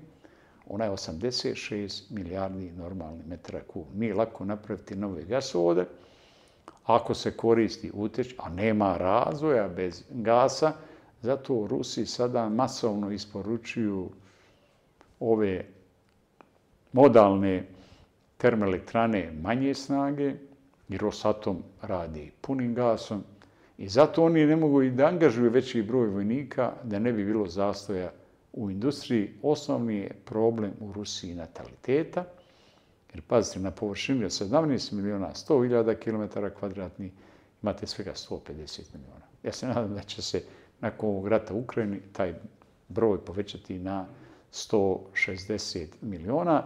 Znači, jedna mudra politika koja se vodi na cijeloj zemaljskoj kugli, a posebno interesantna Venezuela, koja ima najveće zalihe nafte, Amerikancu u svom dvorištu prepustili Venecijelu, Ruskoj federaciji i Narodnoj republici Kini. Inače, Ruska federacija ima ogroman utjecaj u Nikaragvi i prema informacijama kojima ja raspolažem i opratim, već su instalisana i vojna postrojenja u Nikaragvi. Meksiko ima isto tako čudno ponašanje. Mene ne bi iznenadilo da Amerikanci napadnu Meksiko. Prije par mjeseci je držana vojna vježba zajednička između Meksika, Narodne republike Kine i Ruske federacije, a Meksiko ima 120 miliona stanovnika. Onda ponašanje Brazila. Oni su, i ovaj sadašnji predsjednik je imao naklonost prema Amerikancima, a samo ima jedan problem, Amerikanci ne nude ništa. Ili nude vrlo malo, a treba država da živi i to je razlog zašto se Brazil okreće prevashodno prema Kini, jer Kina može mnogo da pomogne. Zamislite vi kad imate milijardu 500 miliona ljudi organizovani da rade, da donose nove ova projekte, nisu oni njih džaba proglasili mravi, mravi rade punim gasom na svakom pedlju zemaljske kugle. Imaju razvijeno istraživanje i razvoj, s napomenom da rade zajedno sa Rusima oko odlaska na Mars. Zamislite, kad bi se sve progresivne snage u društvu organizovale, pa onda ne bilo tjesno na zemaljskoj kugli, jer su pretpostavke da bi se na Marsu moglo daći da možda ima života i ogromna materijalna sredstva. Rusi planiraju da za mjesec i po dana mogu da dođu na Mars, Amerikanci za tri mjeseca, ali pitanje je kojim motorima, zato im trebaju ovi raketni motori, fuzioni, ne fisioni, i će, vjerovatno će se to ovaj, E, to je taj doprinos razvoja nauke. Zamislite, ja ću otići na Mars. Pa bilo je nepojljivo, prije 100 godina išli smo zapražnim kolima, sad imamo rakete koje idu 30.000 km na sat. To je za vas i onu male brzine, onda smo išli sa 10, sad na 30.000 km. Taj. Govorim, ekspanzivan je bio ovaj tehnološki razvoj, ali nije bio razvoj umova, jer umovi su ljudski u dekadenciji. Kako procjenjujete, profesore Škobolje, energijsku budućnost Europe, pa čak i same Europske unije? Pa situacija je vrlo komplikovana, to je kontinent, da li to je kontinent ili to azijski kontinent, ali nazvani evropski kontinent je siromašan. I energentima, i rudama, i mineralima. U primjera radi Evropska Unija je trošila 562 milijarde normalnih metara kubnih gaza. Od toga je uvozila gasovod iz Ruske federacije 224 milijarde, to je negdje oko 40%, i 20 milijardi je uvozila utešljenog naftnog gasa. Sjeverni tok 1 i Sjeverni tok 2 imali su kapacitet 55 milijardi, znači 2 puta 55, to je 110, jer oni su znali da će se ovi događaj dešavati u Ukrajini. Onda su ovi saboteri, iz, to su mogli samo izvršiti Amerikanci i Britanci, ali uz pomoć jedne zemlje koju mi kvalifikujemo kao prijatelje Norvežane, to mi ćemo poslije govoriti oko našeg EPS-a, oni su to bili asistenti da se sruše Sjeverni tok 1 i Sjeverni tok 2, jer Nemačka troši 90 milijardi normalnih metara kubnih gasa, sa ova dva gasovoda to je moglo do 120, oni bi imali viška gasa.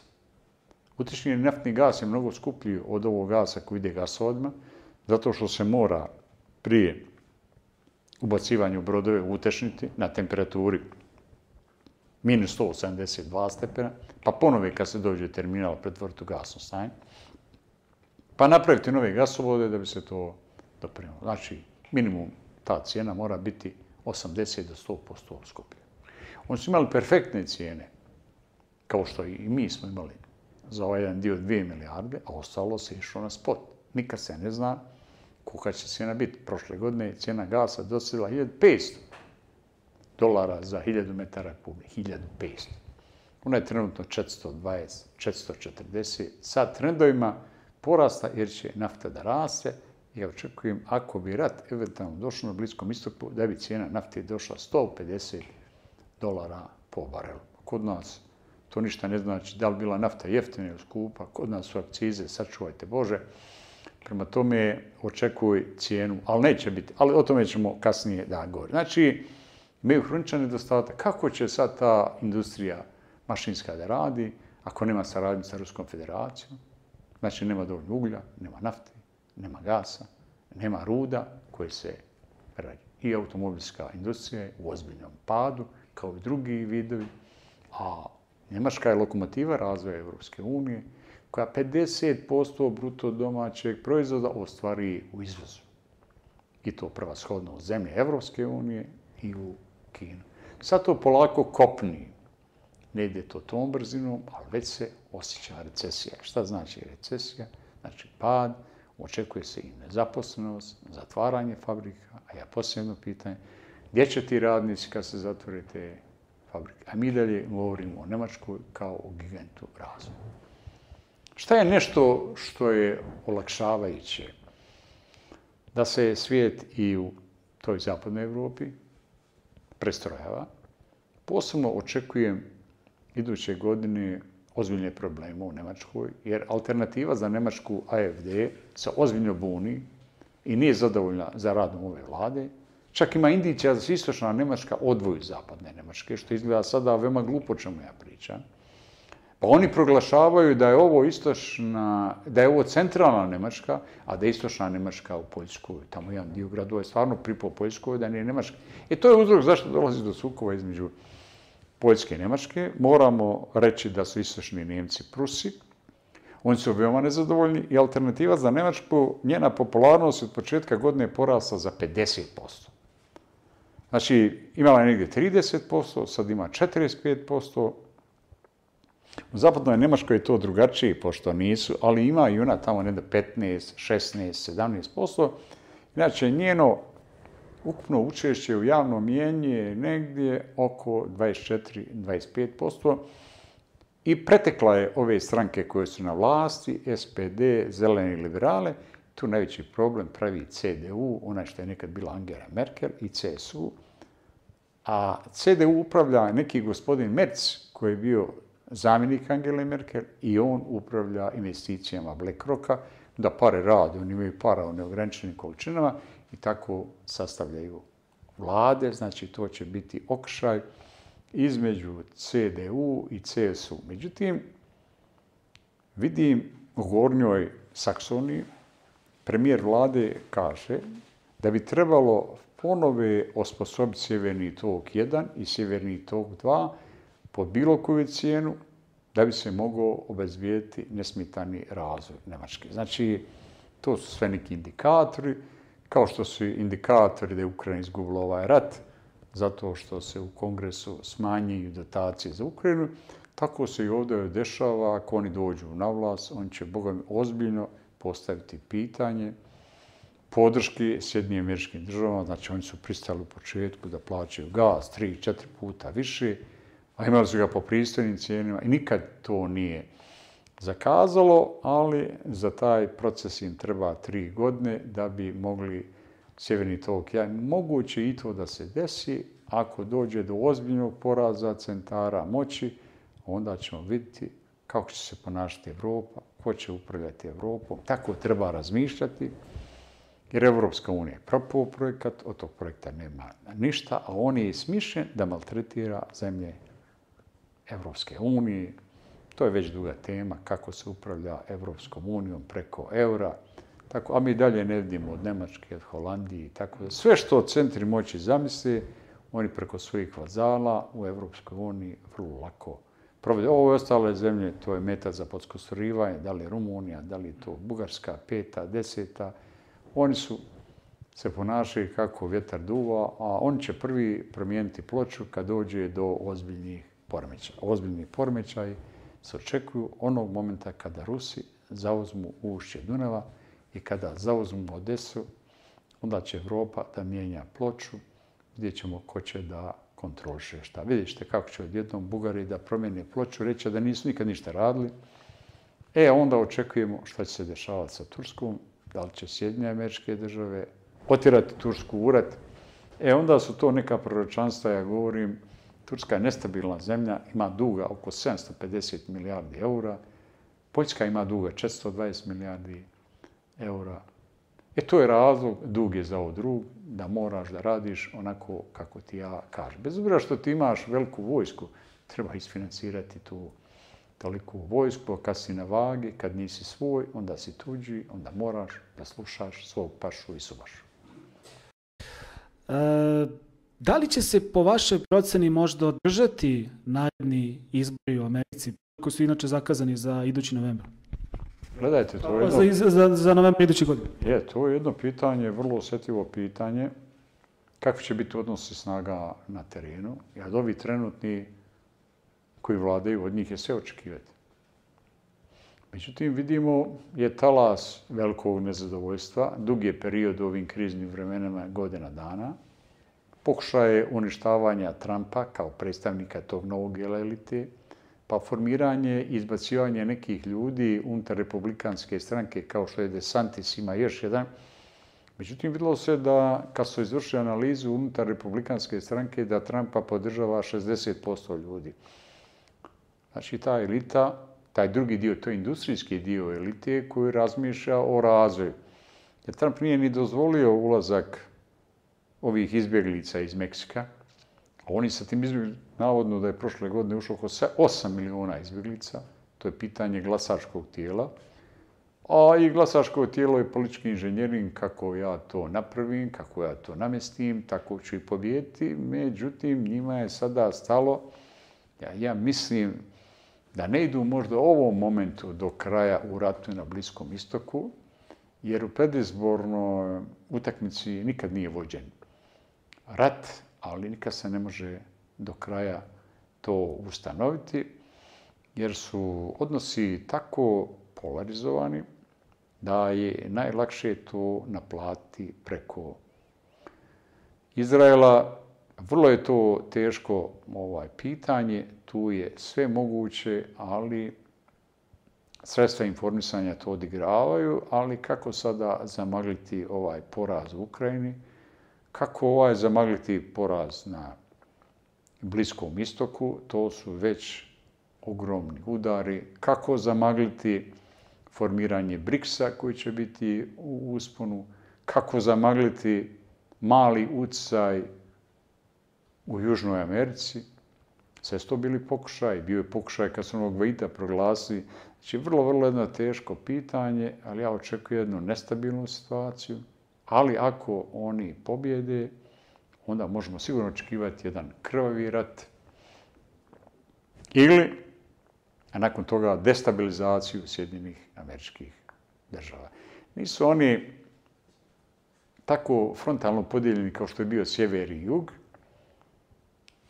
nisu baš skroz u kontaktu, ali veliki broj federalnih država ne podržava centralnu državu, ali pare imaju moć, Ja očekujem da u godinu dana i te pare oslabe, znači, jer neće biti plasmana u dolarima dovoljno da se može održavati vlast. Nije dovoljno štampati jer nema ko da ti primi, a umeđu vremenu će se vjerovatno iskristalisati i nova valuta BRICS-a i pristup novih država. Pa dedolarizacija će biti, ali će se formirati vjerovatno, nije lako formirati novu valutu BRICS-a, O tu novu, o tom novom BRICS-u plus će pristupiti još 14 zemalja, možda i više zemalja. I mislim da će se već do kraja 2024. godine završiti rat u Ukrajini, bit će i na pomolu formiranje i nove arhitekture svijeta, ako neko ne potegne za nuklearnim oružjem. A ovi kakvi su, njima nije ne vjerovati, mogu i to da, jer ima neke indicija da se prave nuklearna skloništa u Sjedinim američkim državama, usled nuklearnog udara. Znači jedno vrlo, vrlo složno, možda civilizacija nikad nije bila u težoj situaciji od postanka, ja nisam istoričar, ali sigurno zadnjih 200 godina nije bila u komplikovanijoj situaciji. Kad god neko raste, neko pada, ti su lomovi, sve rješavaju ratom. Uh, uloga Turske u svim ovim svetskim sukobima i događajima? Znate, Turska više blefira snagu nego što objektivno ima snagu. A Rusi su nju i nakon 2015. godine kad je oboren onaj ruski avion iznad Turske, oni su vidjeli da je to, to je uradio ruski pilot, ali koji je u NATO paktu, ali ne nagovor natovaca i Cije. Rusi su progutali tu knedlu i pokušali su da naprave neke odnose sa Turskom u cilju slabljenja NATO pakta, Nakon toga slijedi i kupovina sistema S-400. Značajne količine nafte i gasa su date Turskoj. Izgradnja nuklearne elektrane, građevinska operativa Turske dosta radi u Ruskoj federaciji. Izvoz poljoprivrednih proizvoda je veliki iz Turske i veliki je devizni priliv od turizma koji je reda veličine 30 milijardi dolara, eura od To su, kad je rušen avion, onda su Rusi te ručnu povukli i to se odmah osjetilo na Turskoj. Međutim, mora se reći da je e, Turska klijent Sjedinjene američke država, svi su ti kadrovi školovani tamo, a lira je vezana za dolar, u bankama upravljaju američki stručnjaci, Erdogan je pod njihovim utjecajem i čak i ovu vladu koju je sastavio, ona je više prozapadna nego bivša vlada, a ne bi opsuo.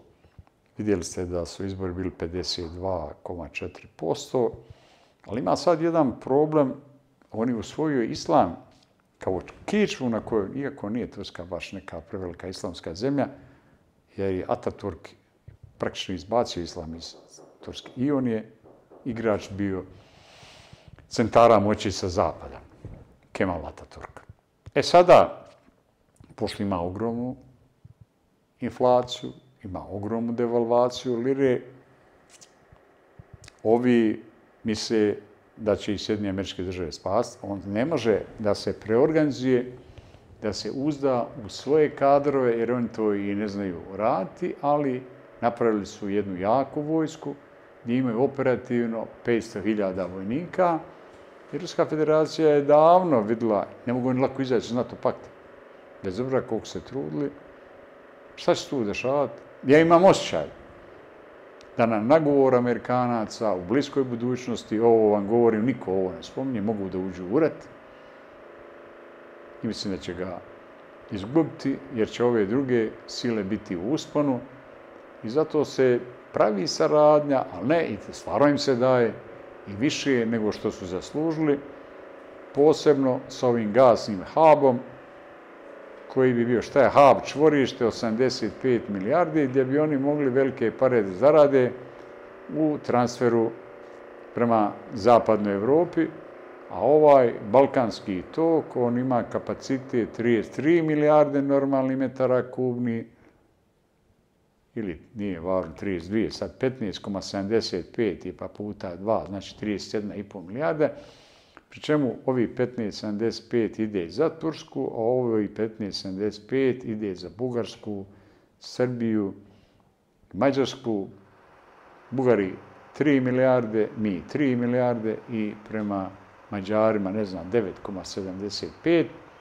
Onda je postojila neka teza oko azerbeđanskog gasa. Samo ima jedan problem, što Azerbejdžan ima proizvodnju 32 milijarde, a u gasnim tokovima ruskim ima oko 26 milijardi, znači ima na raspolaganju 6, i onda mi to predstavljamo šta je 6 prema onih 224 koje je bilo u Evropi, Ali važno je da se nešto dijeli, a šta će se dijeliti, to nije važno, ali doće jutrašnji naftni gas, pa će to građani Srbije da plate, koliko košta, nije ni važno. Znači, Azerbejdžan nije faktor, oni misle preko Turske da će Azerbejdžan biti faktor, pa neće ti prodati ništa onda. Ako ti obustavim to, a snaga Azerbejdžana i potiče iz naftnih tokova i gasnih tokova koji su im omogućili Rusi. Veći udar su Rusima napravili Jermeni kao pravoslavni nabor, nego Azerbejdžan. Azerbejdžan je svjestan da bi dobio rakete od kojih se ne bi oporavio. Ali vi sa ovim svojim ne znate šta ćete. Najgori si ti tvoji koji ti to naprave. Znači, Turci su na jednoj klackalici, šta god uradi, nisu dobro uradili. Zašto? Zato što oni, ajde da ne budem baš previše drzak, pokušavaju da to nešto petljaju, mešetare, ali sa velikim silama nema takve igre. Možeš samo onoliko koliko si jak, a da bi bio jak, moraš biti ekonomski jak, a Turci nemaju te resurse, nemaju taj sistem, nemaju taj mehanizam upravljanja, ima tu dosta površnosti, dosta improvizacije, ne, oni mogu napraviti problem, ali mogu i žestoko da stradaju, pa da se eventualno u Turske i napravi više država i zato izbor na Iranu. Iran je mnogo tvrđa država, mnogo organizovanija država i ona je okosnica u ovom trouglu Kina, Rusija i Iran. Na tome Iran ima ideologiju i sad tu ideologiju širi. Nije to zadrta šiitska ideologija, dok su oni pristali na saradnju sa sunitima, da pogledate tamo po Aziji, pitanje Pakistana, koji je trenutno pod kontrolom američkom, međutim ima i pod rusko-kinesku, pa pitanje Bangladeša, tako da, tako, sve su zemlje koje mi pocenjujemo, pa onda da vidimo Japan. Ne može Japan lako da pređe preko ovog bombardovanja iz 45. bez obzira koliko je vazal da tako lako. Drugačija je stvar kad vi branite svoju zemlju. Zašto je jaka? Zato što on brani rodinu. Kad ti napadaš, šta to ti napadaš? Plaćenička vojska i ova vojska koja iskreno brani je ogromna ovaj, razlika. Znači, evo vidite, mi imamo saradnju razmjenu 2,5 milijarde dolara sa Turskom. Samo da vam kažem razmere koji su. Ja mislite, ima Rusija. Te koliko ste beznačajni. Međutim, Rusi imaju razmjenu sa Turskom negdje oko 60 milijardi. Znači, možete vi od toga odustati. Nemate nafte jeftini, nemate gasa jeftinog, nemate nuklearne energije. Pa kakva će vam biti industrija? Pa ali evo poljoprivred, znate šta je 60 milijardi, to ozbiljne zemlje razmijenju. Znači, tu malo treba da se stane i na jednu i na drugu stranu, ali ovi centri moći, ako ne budu imali drugog izlaza, a neće ga imati, ubačujem Tursku. To je moje mišljenje, nemam za to dokaza, ali analizom turske privrede, analizom turskih banaka, i njihovog finansijskog potencijala, najlakše se zaduživati, samo treba dug i vratiti. A kad dođu u krizne situacije, onda se ispostavi i dugovi. Znači, što bi rekli, neriješeno, na vagi. Zahvaljujem na odgovoru profesora Škobolj. Evo možemo da se prebacimo polako na domaće teme. Kako vi ocenjujete trenutnu ekonomsku situaciju u Srbiji? Ona je teška, komplikovana, opterećena mnogim protivrječnostima. U zadnjih deset godina porast bruto domaćeg proizvoda na godišnjem nivou nije prilazio 1,7%. Znači, bilo je godina gdje je bio pad, gdje smo bili recesiji, ali kad bi gledali kumulativno, znači 1,7%, ove godine je kao programiran porast 2,5%. Ja sumnjam da će biti veći od 1,5%. Mi smo poznati po tome da proglašavamo više nego što je, a sad se postavlja pitanje zašto nam je tako mali bruto domaći proizvod. Trenutno operišemo sa cifrom bruto domaćeg proizvoda od 61 milijardu eura, dolara, sad je euro jednak dolaru. Međutim, to je takozvani nominalni bruto domaćki proizvod u koji je ušla inflacija. Ajmo da pogledamo kolika je inflacija bila u zadnjih deset godina. Akumulativno. Kolika je inflacija bila prošle godine, mi smo je proglašavali 11%, 12%. Pa neka svaki građan ode na pijecu da vidi koliko su cijene poljoprivrednih proizvoda skočile. Ja sam, prema njihovim podacima, da je to negdje oko 41%, 42%. Pa kad bruto domaći proizvod podijelite sa tim, vi dođete do bruto domaćeg proizvoda 44 milijarde, a ne 62 milijarde. Pitanje je šta je realno, a ne šta je...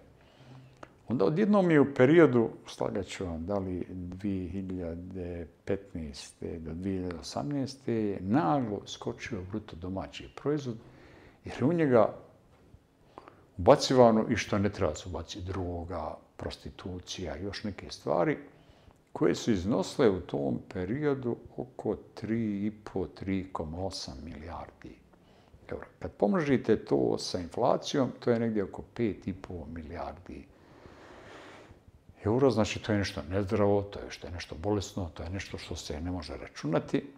Ako vi sad ti 44 milijarde podijelite sa 6,5 miliona stanovnika, vi dođete da je bruto domaći proizvod po stanovniku negdje oko 6.700 eura. Kritično mali. Recimo jedna Kina, ajde da se ne poredimo s Kinom, ja govorim pojedinačno, koja ima milijardu i 500 miliona, ima 14.000 dolara. E sad, kako mi to u usponu ovaj, govorimo? Kako mi to napretku ovaj, govorimo? Šta nam se sad dešava? Jedan paradoks. Mi smo se enormno zaduživali i neko Na osnovu analiza koje sam ja radio, spoljni dug nam je dostigao 44 milijarde dolara. A kad je ova vlast dolazila, to je negdje bilo oko 17-18 milijardi dolara, euro. Sad je to dostiglo 44 milijardi. Ovdje se vrlo lako vrše zaduživanja, ali postavlja se pitanje u što se to ulaže. Mi smo svedoci, istina su i napravljen određeni broj pruga, puteva. Ali kako je to finansirano? Iz kredita. Kako mi imamo namjeru da vraćamo te kredite? Da li možemo da vraćamo? Sad nam se dešava jedan paradoks da nam kamate utiču oko 2,8, 2,9%, a porad bruto domaćeg proizvode ove godine 1,5%. Mi nismo u stanju da servisiramo kamate, a kamoli glavnicu ali zato ima puteva, 24 miliona, ovaj, 24 km od Rume do Šapca, pa su neki analizirali, pošto je sad u ovom, da to košta 13 miliona eura po kilometru, da to objektivno ne bi koštalo više od 8 miliona, pa nije mala razlika, samo 5 miliona, pa puta 24 km, to je samo 120 miliona. Znači, pitanje je kako se racionalno troše sredstva. Da li da pogledajte centralni dio Srbije, tamo ne mogu ni zaprežna kola da idu. Pa imate analizu puta od Pojata do Preljine gdje je prvobitna cijena bila 450 miliona, izaći na 950 miliona eura. Pa mi se igramo s tim milionima, ali majstori smo da držimo sportska takmičenja gdje su tri zemlje drži, mi to sami ovaj, održimo. E sada, kako ćemo održavati te puteve? Mi nismo u stanju da održavamo pute, a druga stvar, pošto su građani siromašni, on neće nići. Pogledajte, ponove se sa Miloš Veliki, ide Ibarskom magistralom, tamo ima pogibi, ako hoćete, sudara i tako da. Znači, ljudi to ne mogu izdržati. Takav je slučaj isti u Hrvatskoj. Nije tamo puno bolje, jer je to isti model koji je primjenjen, pa onda ljudi koji platu, tamo skup jezio autoput. Ali ono možete ti računati, ako ja ne mogu da platim, onda ja tražim, pa nek mi malo duže, o, ali ja to ne mogu da, da platim i to je taj problem znači održavanja i nemogućnosti. A druga stvar je ulažemo nešto što se vrlo teško vraća. Dalje. Moram da pogledam kakva mi je struktura bruto domaćeg proizvoda. Vidite, povika je, recimo, treba nam turizam. Ja kažem, treba. Da li to samo prioritet? Koliko ja imam doprinos od turizma? Vjerovali, ne imam negdje oko milijardu 300, milijardu 400 miliona eura, neki milijardi 500 miliona eura, a moj bruto domaći proizvod 60 nije ni 60, nego je manji, malo prije smo govorili, Što je 2% od bruto domaćeg proizvoda. Da vidim šta mi je sa poljoprivredom. Poljoprivreda ima kritično malo učešće u bruto domaćem proizvodu koje ne prelazi 8%. Šta se dešava? Zašto je to tako malo? Zato što niko ne vodi računa o poljoprivredi, a u ovom periodu će biti neophodno potrebna energija i hrana. Recimo, mi imamo ono što obrađujemo oko 3 miliona i 400 hiljada hektara, 3 miliona i 500 hiljada hektara, hektara, možda je neki maksimalni kapacitet 4 miliona i 200 hiljada hektara. Mi navodnjavamo 1,4% oranica. Mi smo napravili kanal Dunav-Tisa, Dunav, ne znam koje, 75. 77. godine, otvorio ga na istane Dolanci čuveni. I on je imao kapacitet, i sad imao kapacitet, samo se ne koristi, oko 525 ili 550 hiljada hektara. I može da primi ove vode kad se odvodnjavaju za milijon hektara. I to ne funkcioniše. Albanija ima mogućnost navodnjavanja 16%. I to nama ništa ne smeta. Kod nas je prinos po hektaru 1200 eura, a u Holandiji 35.000. U Danskoj 30. Pa postavljam sad jedno pitanje, koliki su nam prihodi ne prelaze 5, 5,5 milijardi eura u E sada, to je potpuno devastirano. Mi smo 2014. godine imali 830.000 goveda, a danas imamo 320.000. Šta radimo? Uvozimo meso. A najmanji smo potrošači mesa po glavi stanovnika, ne ulazimo u Albaniju i ovu kao zove Sjevernu Makedoniju. Imamo pad svinja. Mi smo nekad imali za vrijeme kneza Miloša, recimo, na hiljadu, 1300 svinja. Na svakog čovjeka smo imali 1,3 svinje. Mi sad ne znam koliko ima, nema nikak. Pa onda svinjska kuga, pa ovo, pa ono. I šta se dešava? I tu smo veliki uvoznici. 89. godine mi smo izvozili 780 miliona dolara svinjskog mesa. Ove godine smo uvezli 150 miliona. Ne možeš ni te dolare poreti, jer to bi sad vrijedilo minimum puta dva. Znači, to je prije 30 kusur godine. Znači, stva, e, šta se sad dešava? Svi ovi kombinati nisu u našim rukama. To su uzeli stranci. Bud zašto? To su takozvane strane direktne investicije o kojima sam govorio tuđa ruka svrava. Oni nemaju interesa da razvijaju, nego je borba za profit. Kako budu rasle cijene energenata i cijene plata, te će se firme kupiti odavde. Ali oni su dobili subvencije ogromne. Provjeravam sad koliko su to subvencije, uskoro će ostati bez posla 500 radnika Mitrosu. Šta je problem? Privatizacija po svaku cijenu. Nismo mi za socijaličko samoupravljanje, a mora da postoji ravnopravnost vlasništva. Mi smo rekli sve što je državno, to je ovaj bigova slama. A kada dođe u privatne ruke, onda će to dobro da postoji. Taj se mehanizam potpuno pokazuje pogrešni. Taj Jeffrey Sachs, koji je bio glavni inicijator još kod Dante Markovića, je insistirao na privatizaciji. Šta smo dobili? Dobili smo gore nego što smo imali. Pa nemoj mijenjati, tako ćeš dobiti gore. Bolje imati kuću od Čerpića nego ići pošatom ti su procesi značajno ubrzani 2000. godine kad je izvršen državni udar ili naranđasta revolucija u Srbiji. Kada je 2400 firmi prodato za 2,6 milijardi eura. Fabrika vagona Kraljevo je prodata za milion eura, a ona je vrijedila 120 miliona. Samo 120 miliona. A možda i više. Mi smo napravili pomor. Tako smo napravili pomor i u poljoprivredi. Sada smo ušli u ogromne dugove, koje ćemo vrlo teško da servisiramo. Može da se nađe neki gazda da otkupi te dugove. Čuo se ozbiljno nameće BlackRock da nam uzme svo poljoprivredno zemljište. Zato je i dobar ovaj Zelenski i zato se i drži, jer ga multifunkcion, multi ove kompanije drže, jer je to njihovo vlasništvo. Ovo žito što izvoze, pa nije žito ukrajinsko, to je njihovo ovaj žito. Šta se dalje radi? Pazite, imamo banke koje rade sa našim sredstvima, a to su strane banke. Depoziti naših građana i depoziti firme. Dalje. Odete u banku, recimo, položite pare. Dobit ćete kamatu 3,2%. U devizama govorim. A dignete 16%. Pa malo li razga 5 puta. Otvorite račun. Svaki mjesec na prometu računa morate platiti 1,3, 1,4 eura. Ima 3,5 miliona računa. Znači, to je negdje oko 5 miliona i 300 hiljada na, na mjesečnom nivou, puta 12 mjeseci. Zašto? Za obračun čega? Nikakve kamate vi nemate na svom računu zato što držite par. I to je normalno. I to je normalno da država ne reaguje na to. Pa gospodo, to su sistemski faulovi. To su sistemski promašaji koje vi omogućavate. I zato vas stranci podržavaju da ne vodite računa o svojoj privredi, o svojoj poljoprivredi i o svojim građanima. Onda izlazite i sve te stvari zaboravite. Još jedna stvar da znaju gledaloci televizije Time.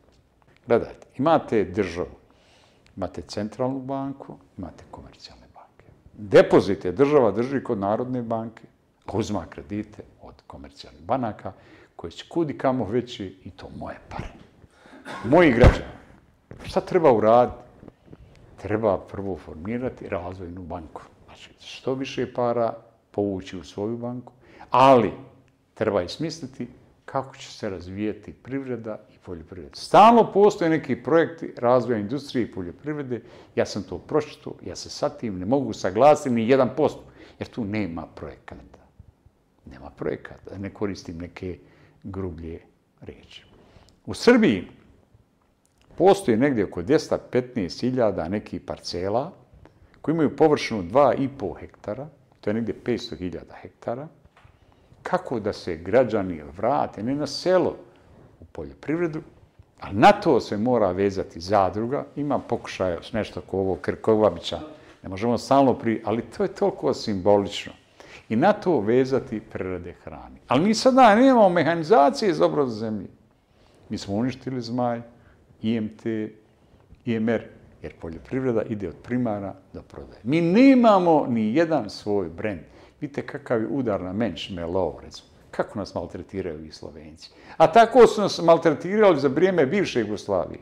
Jer smo robe primarni proizvodnje izvozili, pa smo kupovali, ne znam, čokolade, fruktal, sok i mlijeko, a sirovina bila iz Srbije, a tamo kad uđeš da iskalkulišeš, ono faktor možda šest, sedam ili namještaj koji je pravio Marles, ne znam ko, to je sve. E, to je vid neokolonializma, to je gore nego kolonializam. Šta? Nemaš nikakvog raze. Zato ti treba trust, institut za raz, a ne formalan raz. Mi ovdje imamo dosta naučno-tehnoloških parkova, od kojih nemamo nikakve koristi. Ako i te mlade ljude oškolimo, on će otići besplatno u inostranstvo, a mi smo uložili pare. Jer oni nemaju gdje da rade. Zašto nemaju rade? Jer nema privrede i nema poljoprivrede. Kako predviđate da će se razvijeti e, situaciju u EPS-u?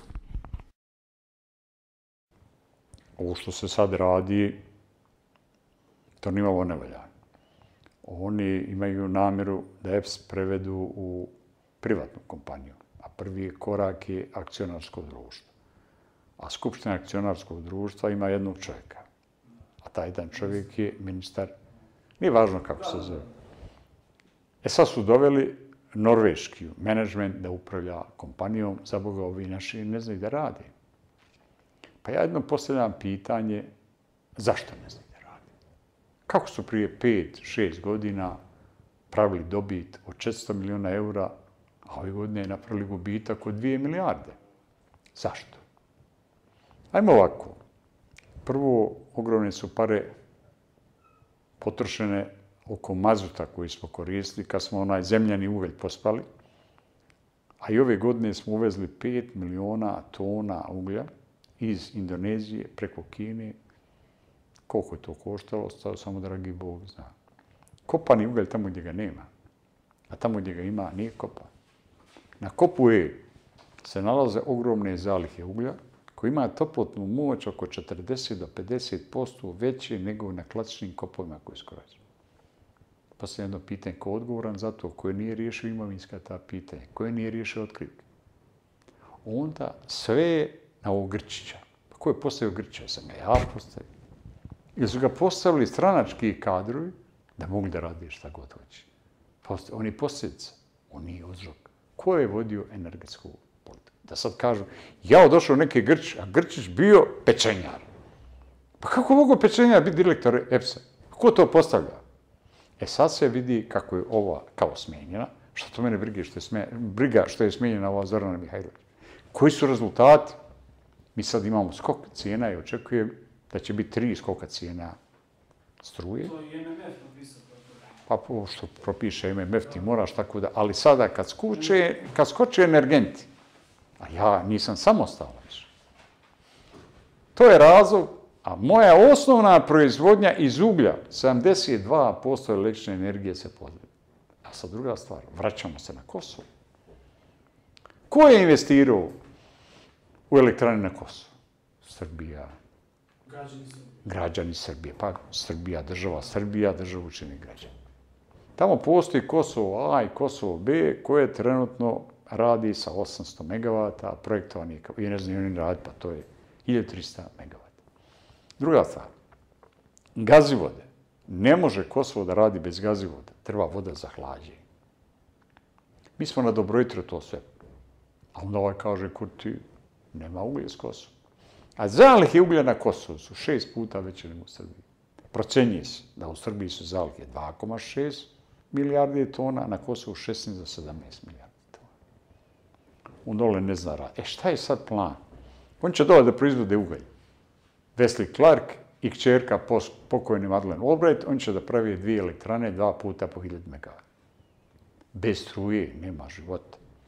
Priča o CO2 otisku, CO2 printu je priča, oni neće prvi poštijati. Ali će inkasirati ogromne profite i može se desiti da mi kupujemo struju. Šta je još opasnost EPS-u? Da se nakon te privatizacije koji ide korak po korak, prvo je akcionarsko, niko ne reaguje. Sad ćemo mi svi reći neka, ko da to ima veze. Dobit će novo koji će to provesti, će doći da to nije naše i da mi moramo uvesti ekonomsku cijenu struje. E onda bit ćemo prinuđeni da to plaćamo i bit ćemo prinuđeni da minimum jedno 16.000 radnika ostane bez posla. Onda će se raspravljati kakve će im se dati kao fol neke dažbine, otpremnine, sindikati i tako dalje i tako dalje, a od 40.000 radnika bez posla ostalo 16.000. Sad mi ne znamo da sad imamo viška radnika. Znači, naš menadžment ne postoji. Zašto? Zato što je to neko dirigovo, a ne treba ni da diriguje, jer su se stranke namještale i namirivale preko ovih javnih preduzeća. Pa onda uglavite tamo najveći broj nesposobnih ljudi da upravljaju tokovima, onda se namiruju stranke iz javnih preduzeća i tako da. E, na kraju došlo ko će izdržati dugove? Zamislite, dvije milijarde. A zamislite, znači ja sam mogu sada da imam minimum dvije milijarde i često miliona, a imam gubitak dvije milijarde. To je što sam ja našao od podataka, možda je to I kak su dalje trendovi? Ja ću kažu da pravim nuklearnu energiju. Nemam ništa protiv, ali kako?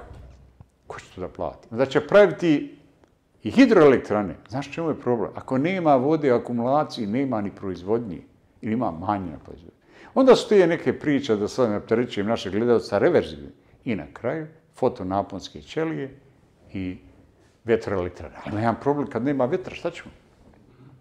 E sad je ta bez električne energije ulazimo u vrlo, vrlo opasnu situaciju, jer mi imamo i veliku količinu električne energije koju koristimo za grejanje, a ljeti moramo da koristimo za hlađenje, jer svi ovi uređaj se pogone električnom energijom. Znači, nimalo svjetla budućnost, ne kažem svjetla, pod navodnim znacima, koju mi prikrivamo svojim ponašanjem, narošto preko sredstava informisanja, o tome ne pričamo o egzistencijalnim pitanjima. Pitanje hrane, pitanje energije, odnosno prvo pitanje energije, pa hrane simultano, obezbeđuje preživljavanje ljudi. Da li smo mi u fazi da preživimo, da opstanemo, to je elementarno pitanje. E sada, koliki značaj imaju izbori u Srbiji, profesore Škobalj, i ko zapravo ovde obra i postavlja vlade u Srbiji, po vašem mišljenju? Izbori neće donijeti nikakvu sreću. Oni su zakazani namirno prije vremena. I ste videli i na prošlim izborima su rekli nakon dvije godine će biti izbori. Pa valjda postoji. Odmah je oročeno. Znači, to je neko rekao, pa postoji nešto što se zove regularno. Ako se voze i desnom stranom, nemoj voziti lijevom. E, već je u startu to rečeno. Oni u ovom momentu neće donijeti promjenu, on će još više da usložnije situaciju, jer tu nema ovih rješenja o kojima ja govorim. Ovi koji upravljaju tokovima nemaju projekte, nemaju programe, nemaju viziju kako da prevaziđe ove stvari. Opozicija je usitnjena, a nije ni problem, zato su, nije ni problem to usitniti, jer nema ni sredstva, nema ni kadrova. Jedan broj ljudi koji ima nekakvu viziju, neće da se petlja, on misli da će to neko drugi da riješi problem. I ja govorim o meritokratiji, ako ona uopšte postoji, o elitama koja se vrlo komotno ponaša.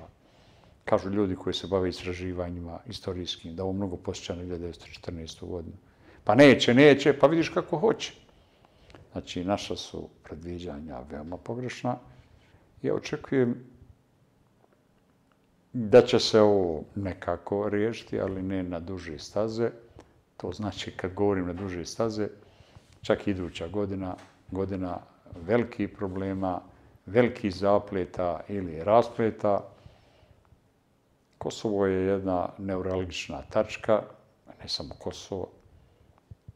Gdje god pipnete, onda se vratite na 5. oktobar, a ovo će Kosovo urađivati drugi mi to nismo u stanju da uredimo. Ima jedna samo stvar koja nama ide u prilog, to je da jedan pojas, jedan put treba da pređe preko Kosova.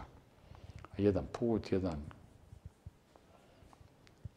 ovaj pojas, to inauguriše Kina, koja će, rekao sam vam, doći do rijeke, koja ima ambicija da stavi pod kontrolu, ne bih rekao pod kontrolu, ozbiljnu saradnju sa Evropom, to je veliko tržište. Odnosi mogu da budu sasvim drugačiji i moramo gledati, što kaže, ko je na brdu, više vidi nego ovaj na podbrdom. Kosovo je jedna mala, usputna stanica od 11.000 km kvadratni.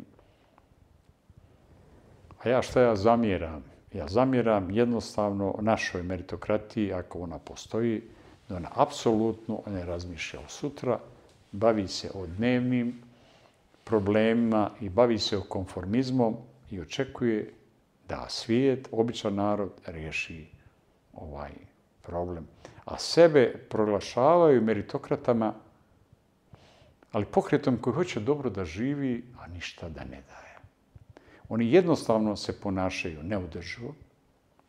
čas pojedincima, ali ako se te snage ne udruže, jedan čovjek ne može da zna sve, i nemaju adekvatne projekte i ne naprave osnove ovoga društva, ja to više puta govorim, pa sam i do sada, koji su to stubovi društva, jedan je stub jaka patriotska stranka ili pokret, može li se ona formirati? Pa ne može trenutno. Srpska pravoslavna crkva u sve svoje slabosti, ali u sinodu, ne u crkvi. Sjete se i Varnave 37. godine kad se su konkordatu. Što je bilo da otrovan bio neko to. Dokazano. Treće je jaka vojska. Nemojte ni gledati prema generalštavu. Nisu ljudi blesavi. I četvrto, podrška Ruske federacije. Da li je jedan od ova četiri stuba adekvatno zastupljen? Nije. Ako imate stubove, onda vi možete govoriti o zidovima i nadgradnji. Šta mi hoćemo? Kuću od krova. Ako nema jakih temelja, od čega je prošla počeo sam oni, ja ne govorim ovo iz srca, govorim za ruska meritokratija uspostavila osnovne principe. Jedan je princip duhovnost, drugi je princip identitet, četvrti familije. I napravljen je projekat Rusije. Ja sam gledao taj projekat. Gdje su oni obuhvatili sve segmente jednog društva u sklopu održivog razvoja. održivi razvoj ekonomije, održivi razvoj društva, održivi razvoj životne sredine. Sad, negdje su uspjeli, negdje nisu, ali taj princip je konzistentno premijen. Koji države ekonomije, banaka, firmi i šta je suština? Bacili su poente na oružanje, vojnu opremu i na industriju hrane. Oni sada priznaju da nije bilo industrije hrane, pa narod gladan, ne može narod gladan ratovati. Ako nemaš oružja, pa ne možeš opet ratovati. Dobro, to su velike zemlje, a nema veze da li su velike ili male. Ova zemlja ima potencijal da ovde živi 15 miliona ljudi. Nemamo da sad lažemo na 70 miliona, ali nas ima 6,5. Ali 15 miliona može da živi. Ali problem je kako se to vodi. Evo vam primjer, imate neku firmu, imate menadžment loš, propala firma. Dođe novi menadžment, oporavi firmu. Šta je problem? Pa ne valja. Pa šta ne valja? Ne valja upravljanje. A to je ključna stvar. Evo, primjer smo imali u EPS-u. Nema veze uz one socijaliste kilave, vakve ali ta EPS funkcionicu i za vrijeme bombardovanja. Pa da li ima ovaj stepen iskoj, ali pa to je bilo domaće, ti se mogu na to nasloniti. Mi smo očekivali 2000. godine da ćemo dobiti bolji, a mi dobili mnogo gore. Šta nam je sad sa ovakvim pristupom za očekivati? Za očekivati je još gore. Bitno je da vidimo, ja tvrdim, nije dobro kada se ne radi planski, kada se radi stihijski. I problem je što mi stalo bacamo poentu na korupciju, kriminal i kože. Kad mi u, u to, a nećemo ga nikad ukloniti sa ovakvim pristupom. Jer postoji nešto što se zove kontrolna funkcija. Samo se sjete oni šest principa menadžmenta o kojima sam govorio i na kraju kontrola. Mi smo nekad imali SDK, Pa što vi pare troška ako hoćete. Ako su namjenjeni za investicije, ne mogu se trošiti u drugu. A to je i ovaj, nametnuto svoje resurse, svoja znanja, bez obzira kakva su, moramo da propagiramo. Mi stalno propagiramo kako nam zemlja ne valja.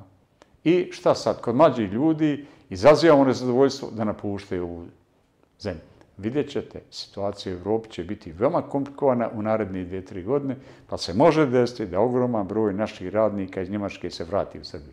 Na što će se vratiti?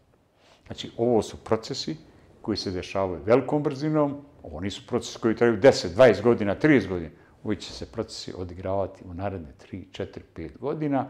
Koliko mi budemo spremni, mi smo totalno trenutno nespremni, ali u svakim kriznim vremenima vjerovatno će se izroditi neki ljudi koji imaju adekvatne programe kako da ovu zemlju prevedu u neko bolje stanje ili pod navodnim stanjima ovaj, blagostanje. Znači, trenutno sam ozbiljno, ozbiljno ovaj, zavrnut jer nemam nikakvih projekata, vizija, a bez vizija ne može. Poznate samo problem u obrazovanju, vi vidite da je to sve Bolonja, Bolonju mnogi ovaj, ukidaju, ali treba vidjeti šta se dešava u Evropskoj uniji.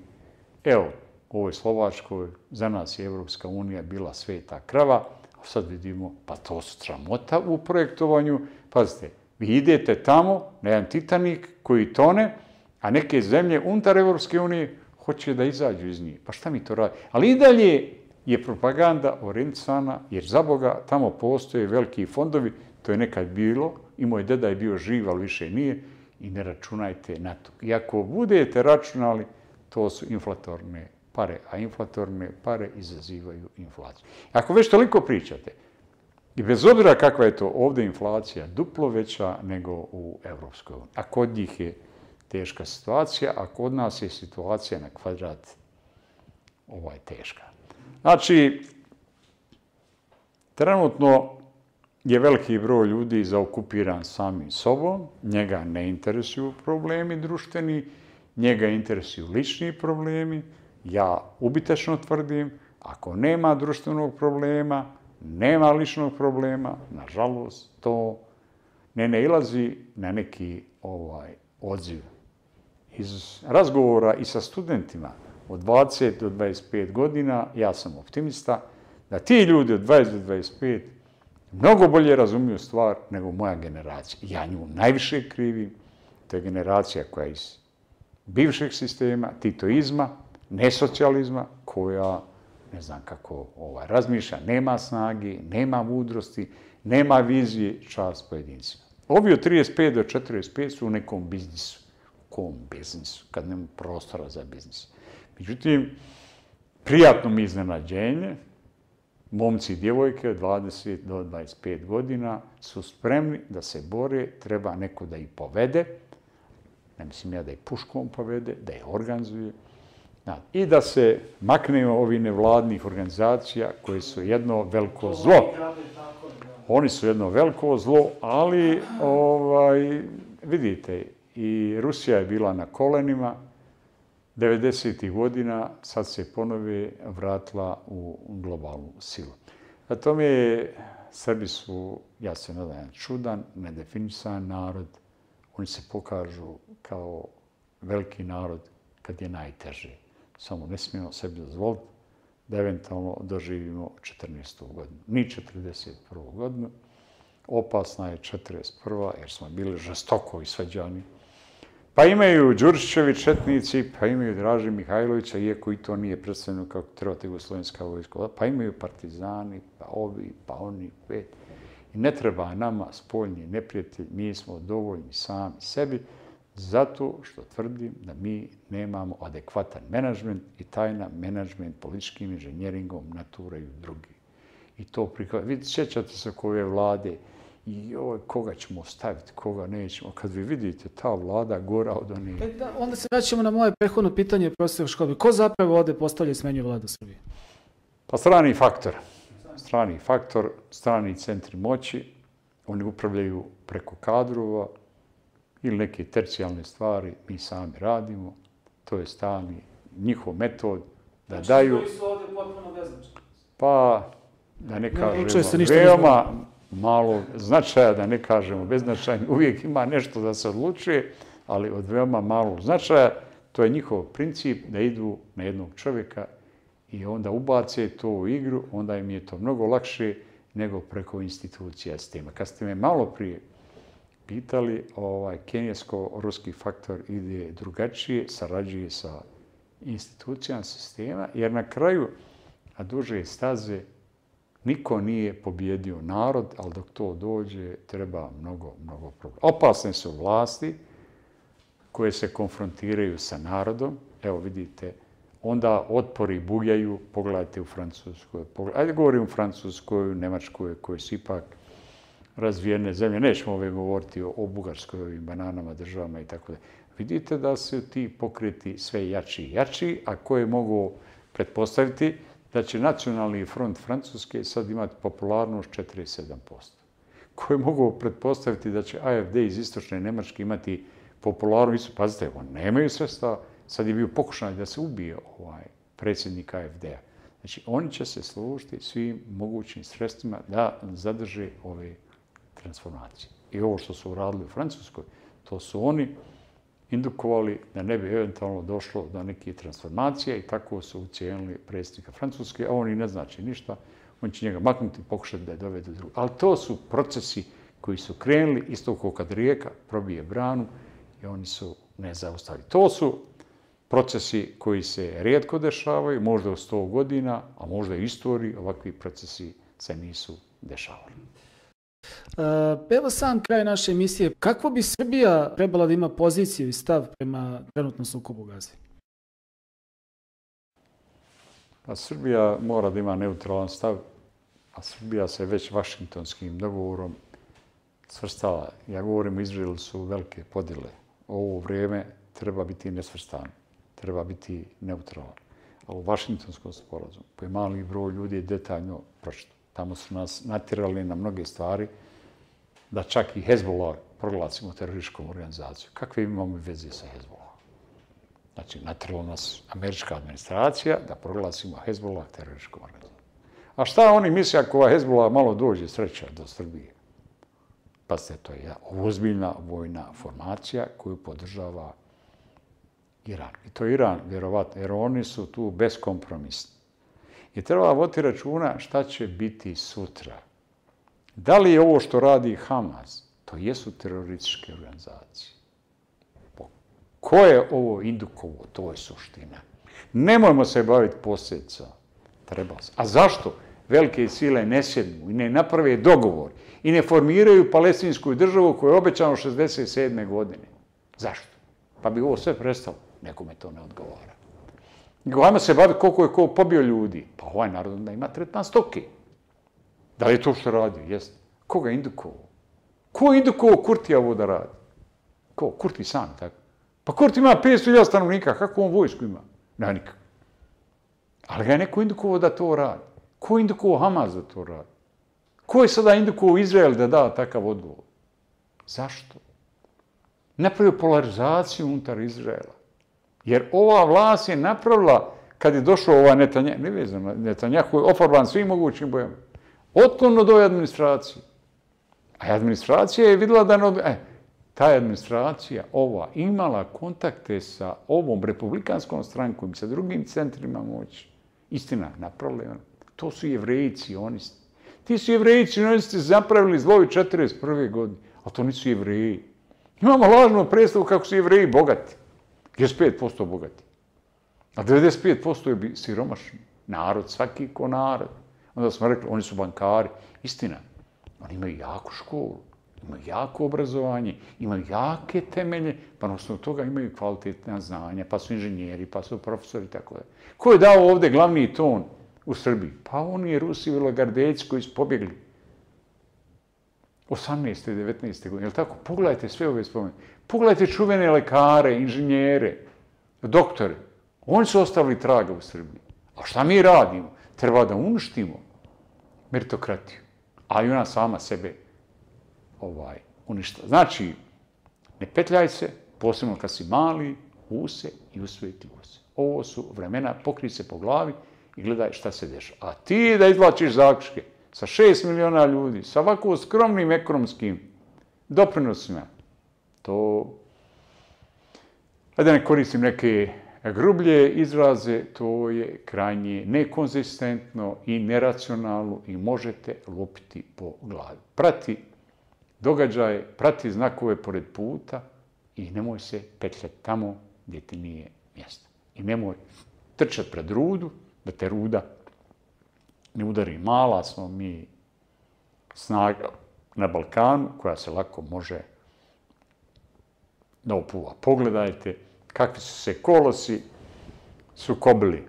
Znači, kad se oni sukobe, ti se skloni da ne bi bio kolateralna šteta. A šta će oni dalje raditi na Balkanu? Vidjet ćemo, jer oni imaju svoje planove i ta naša meritokratija mora da zna kakvi su njihovi planovi. Nije nama problem Bosna i Hercegovina. Ona je isto eksponent nečiji. Ja njima stalno kažem u federaciji, ne branim ja, nisam, e, znam odakle vjetrovi duvaju. Vas, Republika Srpska, hoće nastrano, da oslobodi od kolonizacije. Šta je Bosna i Hercegovina kolonija? Na se bori. Ne bori se ona zbog vas, nego bori se i zbog njih. Ne mogu male države da opstanu. Moramo sada zamisliti kako će biti stanje na Balkanu za par godina. 41. je bila, kad je Hitler sve zauzeo. Šta je bilo 45. Znači, to se zove vizija. Da li mi o tome razmišljamo? Ne vezu. Ko je napravio Hrvatsku državu? Pa napravio to pakt. Ne mogu da se lažimo. Ko je napravio Endehaziju? Pa napravio Hitler. Ko je napravio Hitlera i tako? Mi moramo imati neku genezu problema i moramo imati viziju, događaj. Koje... Pa ona Makedonija, kakva je to država? Pet puta mijenjala ime države. E sad, njima treba Albanija. To je isto ko Mussolini je plan, njimaški plan. Hoće se to ostvariti? Po mom skromnom mišljenju, neće. Ali, po onoj narodnoj, treba ove terete izdržati. Evo sam kraj naše emisije opasnost od stvaranja Velike Albanije i koliko je ovaj događaj u Banjskoj zakomplikovao situaciju u Srbiji? Ovaj događaj u, u, u, u Banjskoj pokazu naše sve nesposobnosti, naše sve slabosti. I bojim se da to nije isto projekat koji je neko morao da izvede na nagovor nečiji. Imamo sad ova iskustva iz Gaze i tako dalje. Vi niste svoji, nemate svoj samostalni nastup. Morate da pristanete na sve. Kad pristajete na sve, onda to nema kraja. Onaj traži još više. Sjećate se kad je Milošević rekao daj da potpišem Kristoferu Hillu šta treba. On kaže, ne znam, možda ćemo sutra imati još neki zahtjev. A tome veliki se tako ponašaju, posebno ti centri moći u imperiji Americi. Oni će stati samo onog momenta kad, se zaustavi, kad ih neko zaustavi. Dotle ćemo mi biti meta za podkostorivanje, a to ne znači da i drugi neće. potreći oni Bugare, potreće oni Rumune da ginu pod ruskim raketama.